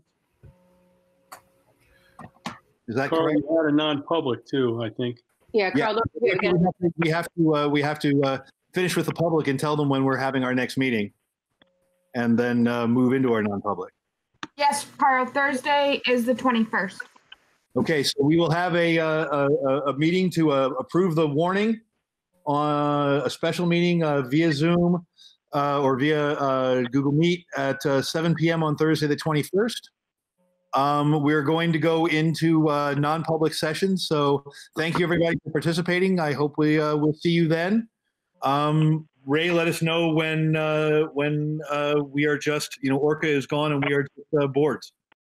Or to, to, to I'm sorry. Actually, the first thing I need to do is we need to entertain a motion to enter executive session to discuss a personnel matter. Do I So hear, moved. Uh, do I hear a second? Second. Motion has been made and seconded to move into non-public se- uh, uh, session to discuss a uh, personnel matter. Thank you, everybody, for attending the uh, open portion of our meeting. Shortly. All right, we have come out of a, a- a- executive session. Um, you know, yes, everyone is everyone is is really really uh, at edge about this building. I'm just not sure. I, I personally don't, you know, don't know how we can how we can handle the situation in a, in a timely fashion and be and be realistic, short of just, you know, saying it's you know we're going to knock down this building for the for the cost and this uh, uh, you know here and we're going to just put everyone there i think that's that's that's that's a tough sell and you know understanding the bonding and understanding how to do that um you know is is We're going to have a hard enough sell once we do decide on a building of raising the money to fix whatever building we choose. Um, so that's a whole nother part of it. Hmm. But um, I, I, I, I think we've sort of run out of polite alternatives. I mean, you say flip a coin, and in some ways, there's arguments you can make either way. You know, There- you can say there- the future of school education in this valley is the high school building. Um, and we should hold on to it for dear life, which is what I think we've sort of been doing is this sort of, you know, sort of back door. Um, but it's definitely not, um, and we, you know, we, we, we got shot in the foot. We go to do all this community engagement. We had all these plans and it's just too slow. That's what we're hearing again and again. It's too slow. I think you're we are in a crisis. I mean, you know, we were a crisis is going to force us to make a decision. I don't have Yep. the right answer, but some of the decision may happen naturally and that quite frankly, all specials teachers may for the foreseeable future be traveling into kids' classrooms and kids not traveling through the hallways. So that might make a decision and maybe it's time to approach uh, Rochester town uh, to see if they even really have an interest in that high school building with the idea that maybe we would still use the music space and we would pay $500. I don't know, I'm making up a number. Um, well, from the meeting that that one meeting that we were really hoping Carl said to it today to get up and running was a group of community members who were excited who wanted the building. There were multiple groups. There was the seniors that wanted the building. There was childcare that wanted the building. They, they were so excited about this. Unfortunately we met we were getting ready to meet again and and suddenly covid happened. And so you know that just really threw everything out the window. Right. I um, just I have a hard time with that we need more i hear what you're saying lindy of that possibility that we're going to be going into classrooms more i'm actually wondering do we are we going to need more space so the kids are sitting farther apart or are we going to actually need to have more square footage you know and it's just Well, that's not possible in Stockbridge. It is through the use of multi-purpose room and different. We we divide kids up in the library. I just want to say, Amy, you like froze. I I don't know if you had more to Oh. say, but you you froze. Where where did I freeze? I I just, I'm so just don't know about the future. And you mentioned about things coming into the classroom, existing classrooms. And I'm wondering if now with, we're going to need to social distance more and we're going to need bigger classrooms and we're going to need to divide the class up more and we're going to actually need more square footage to be able to teach them all at once, to only have five kids in a classroom. I sent you the article that was enclosed in some of the European schools that are opening up and what they're doing, and they are ahead of us. Um, and that's the purpose of it, is to be able to see what's going on over there. Um, um, But I agree, Ethan, we do, we do need to figure out a way to. Bruce, I mean, I know, I can. I know what my uh, adopted son Jesse's doing in Taiwan, but what are they? They're social distancing. They're testing temperature. Um, they have masks. What else are they doing? Um, well, you can see actual pictures in some of the articles uh, of them, the classroom rearranging, uh, rearrangements that have been done. Um, and there's, I think France is in there. I, I think maybe Italy uh, and one of the Scandinavian countries. Maybe it's Denmark. Um, you know, and what what each of them are doing. If you take a look, it's an odds and ends. Uh, um, okay. Carl, I really want to let Ray go home. Uh, do we have to? Uh, I agree. We have to We act have to on what we this did in non-public, took no action, or whatever it is. I guess. Right. Um, uh, we we took no action in non-public. Um, we've set our next meeting time for Thursday at seven. I would entertain a motion to adjourn. So moved. Seconded. This was not fun. It was not. um, all right, we will uh, gather again on Thursday. Good night, everybody. Thanks, Good night. Ray. Thank you, Ray. Thank you, Thank Tara. you, Ray. Thanks, Yeah. Tara. Take care. did all the work. Cindy and Bonnie, board members, thanks.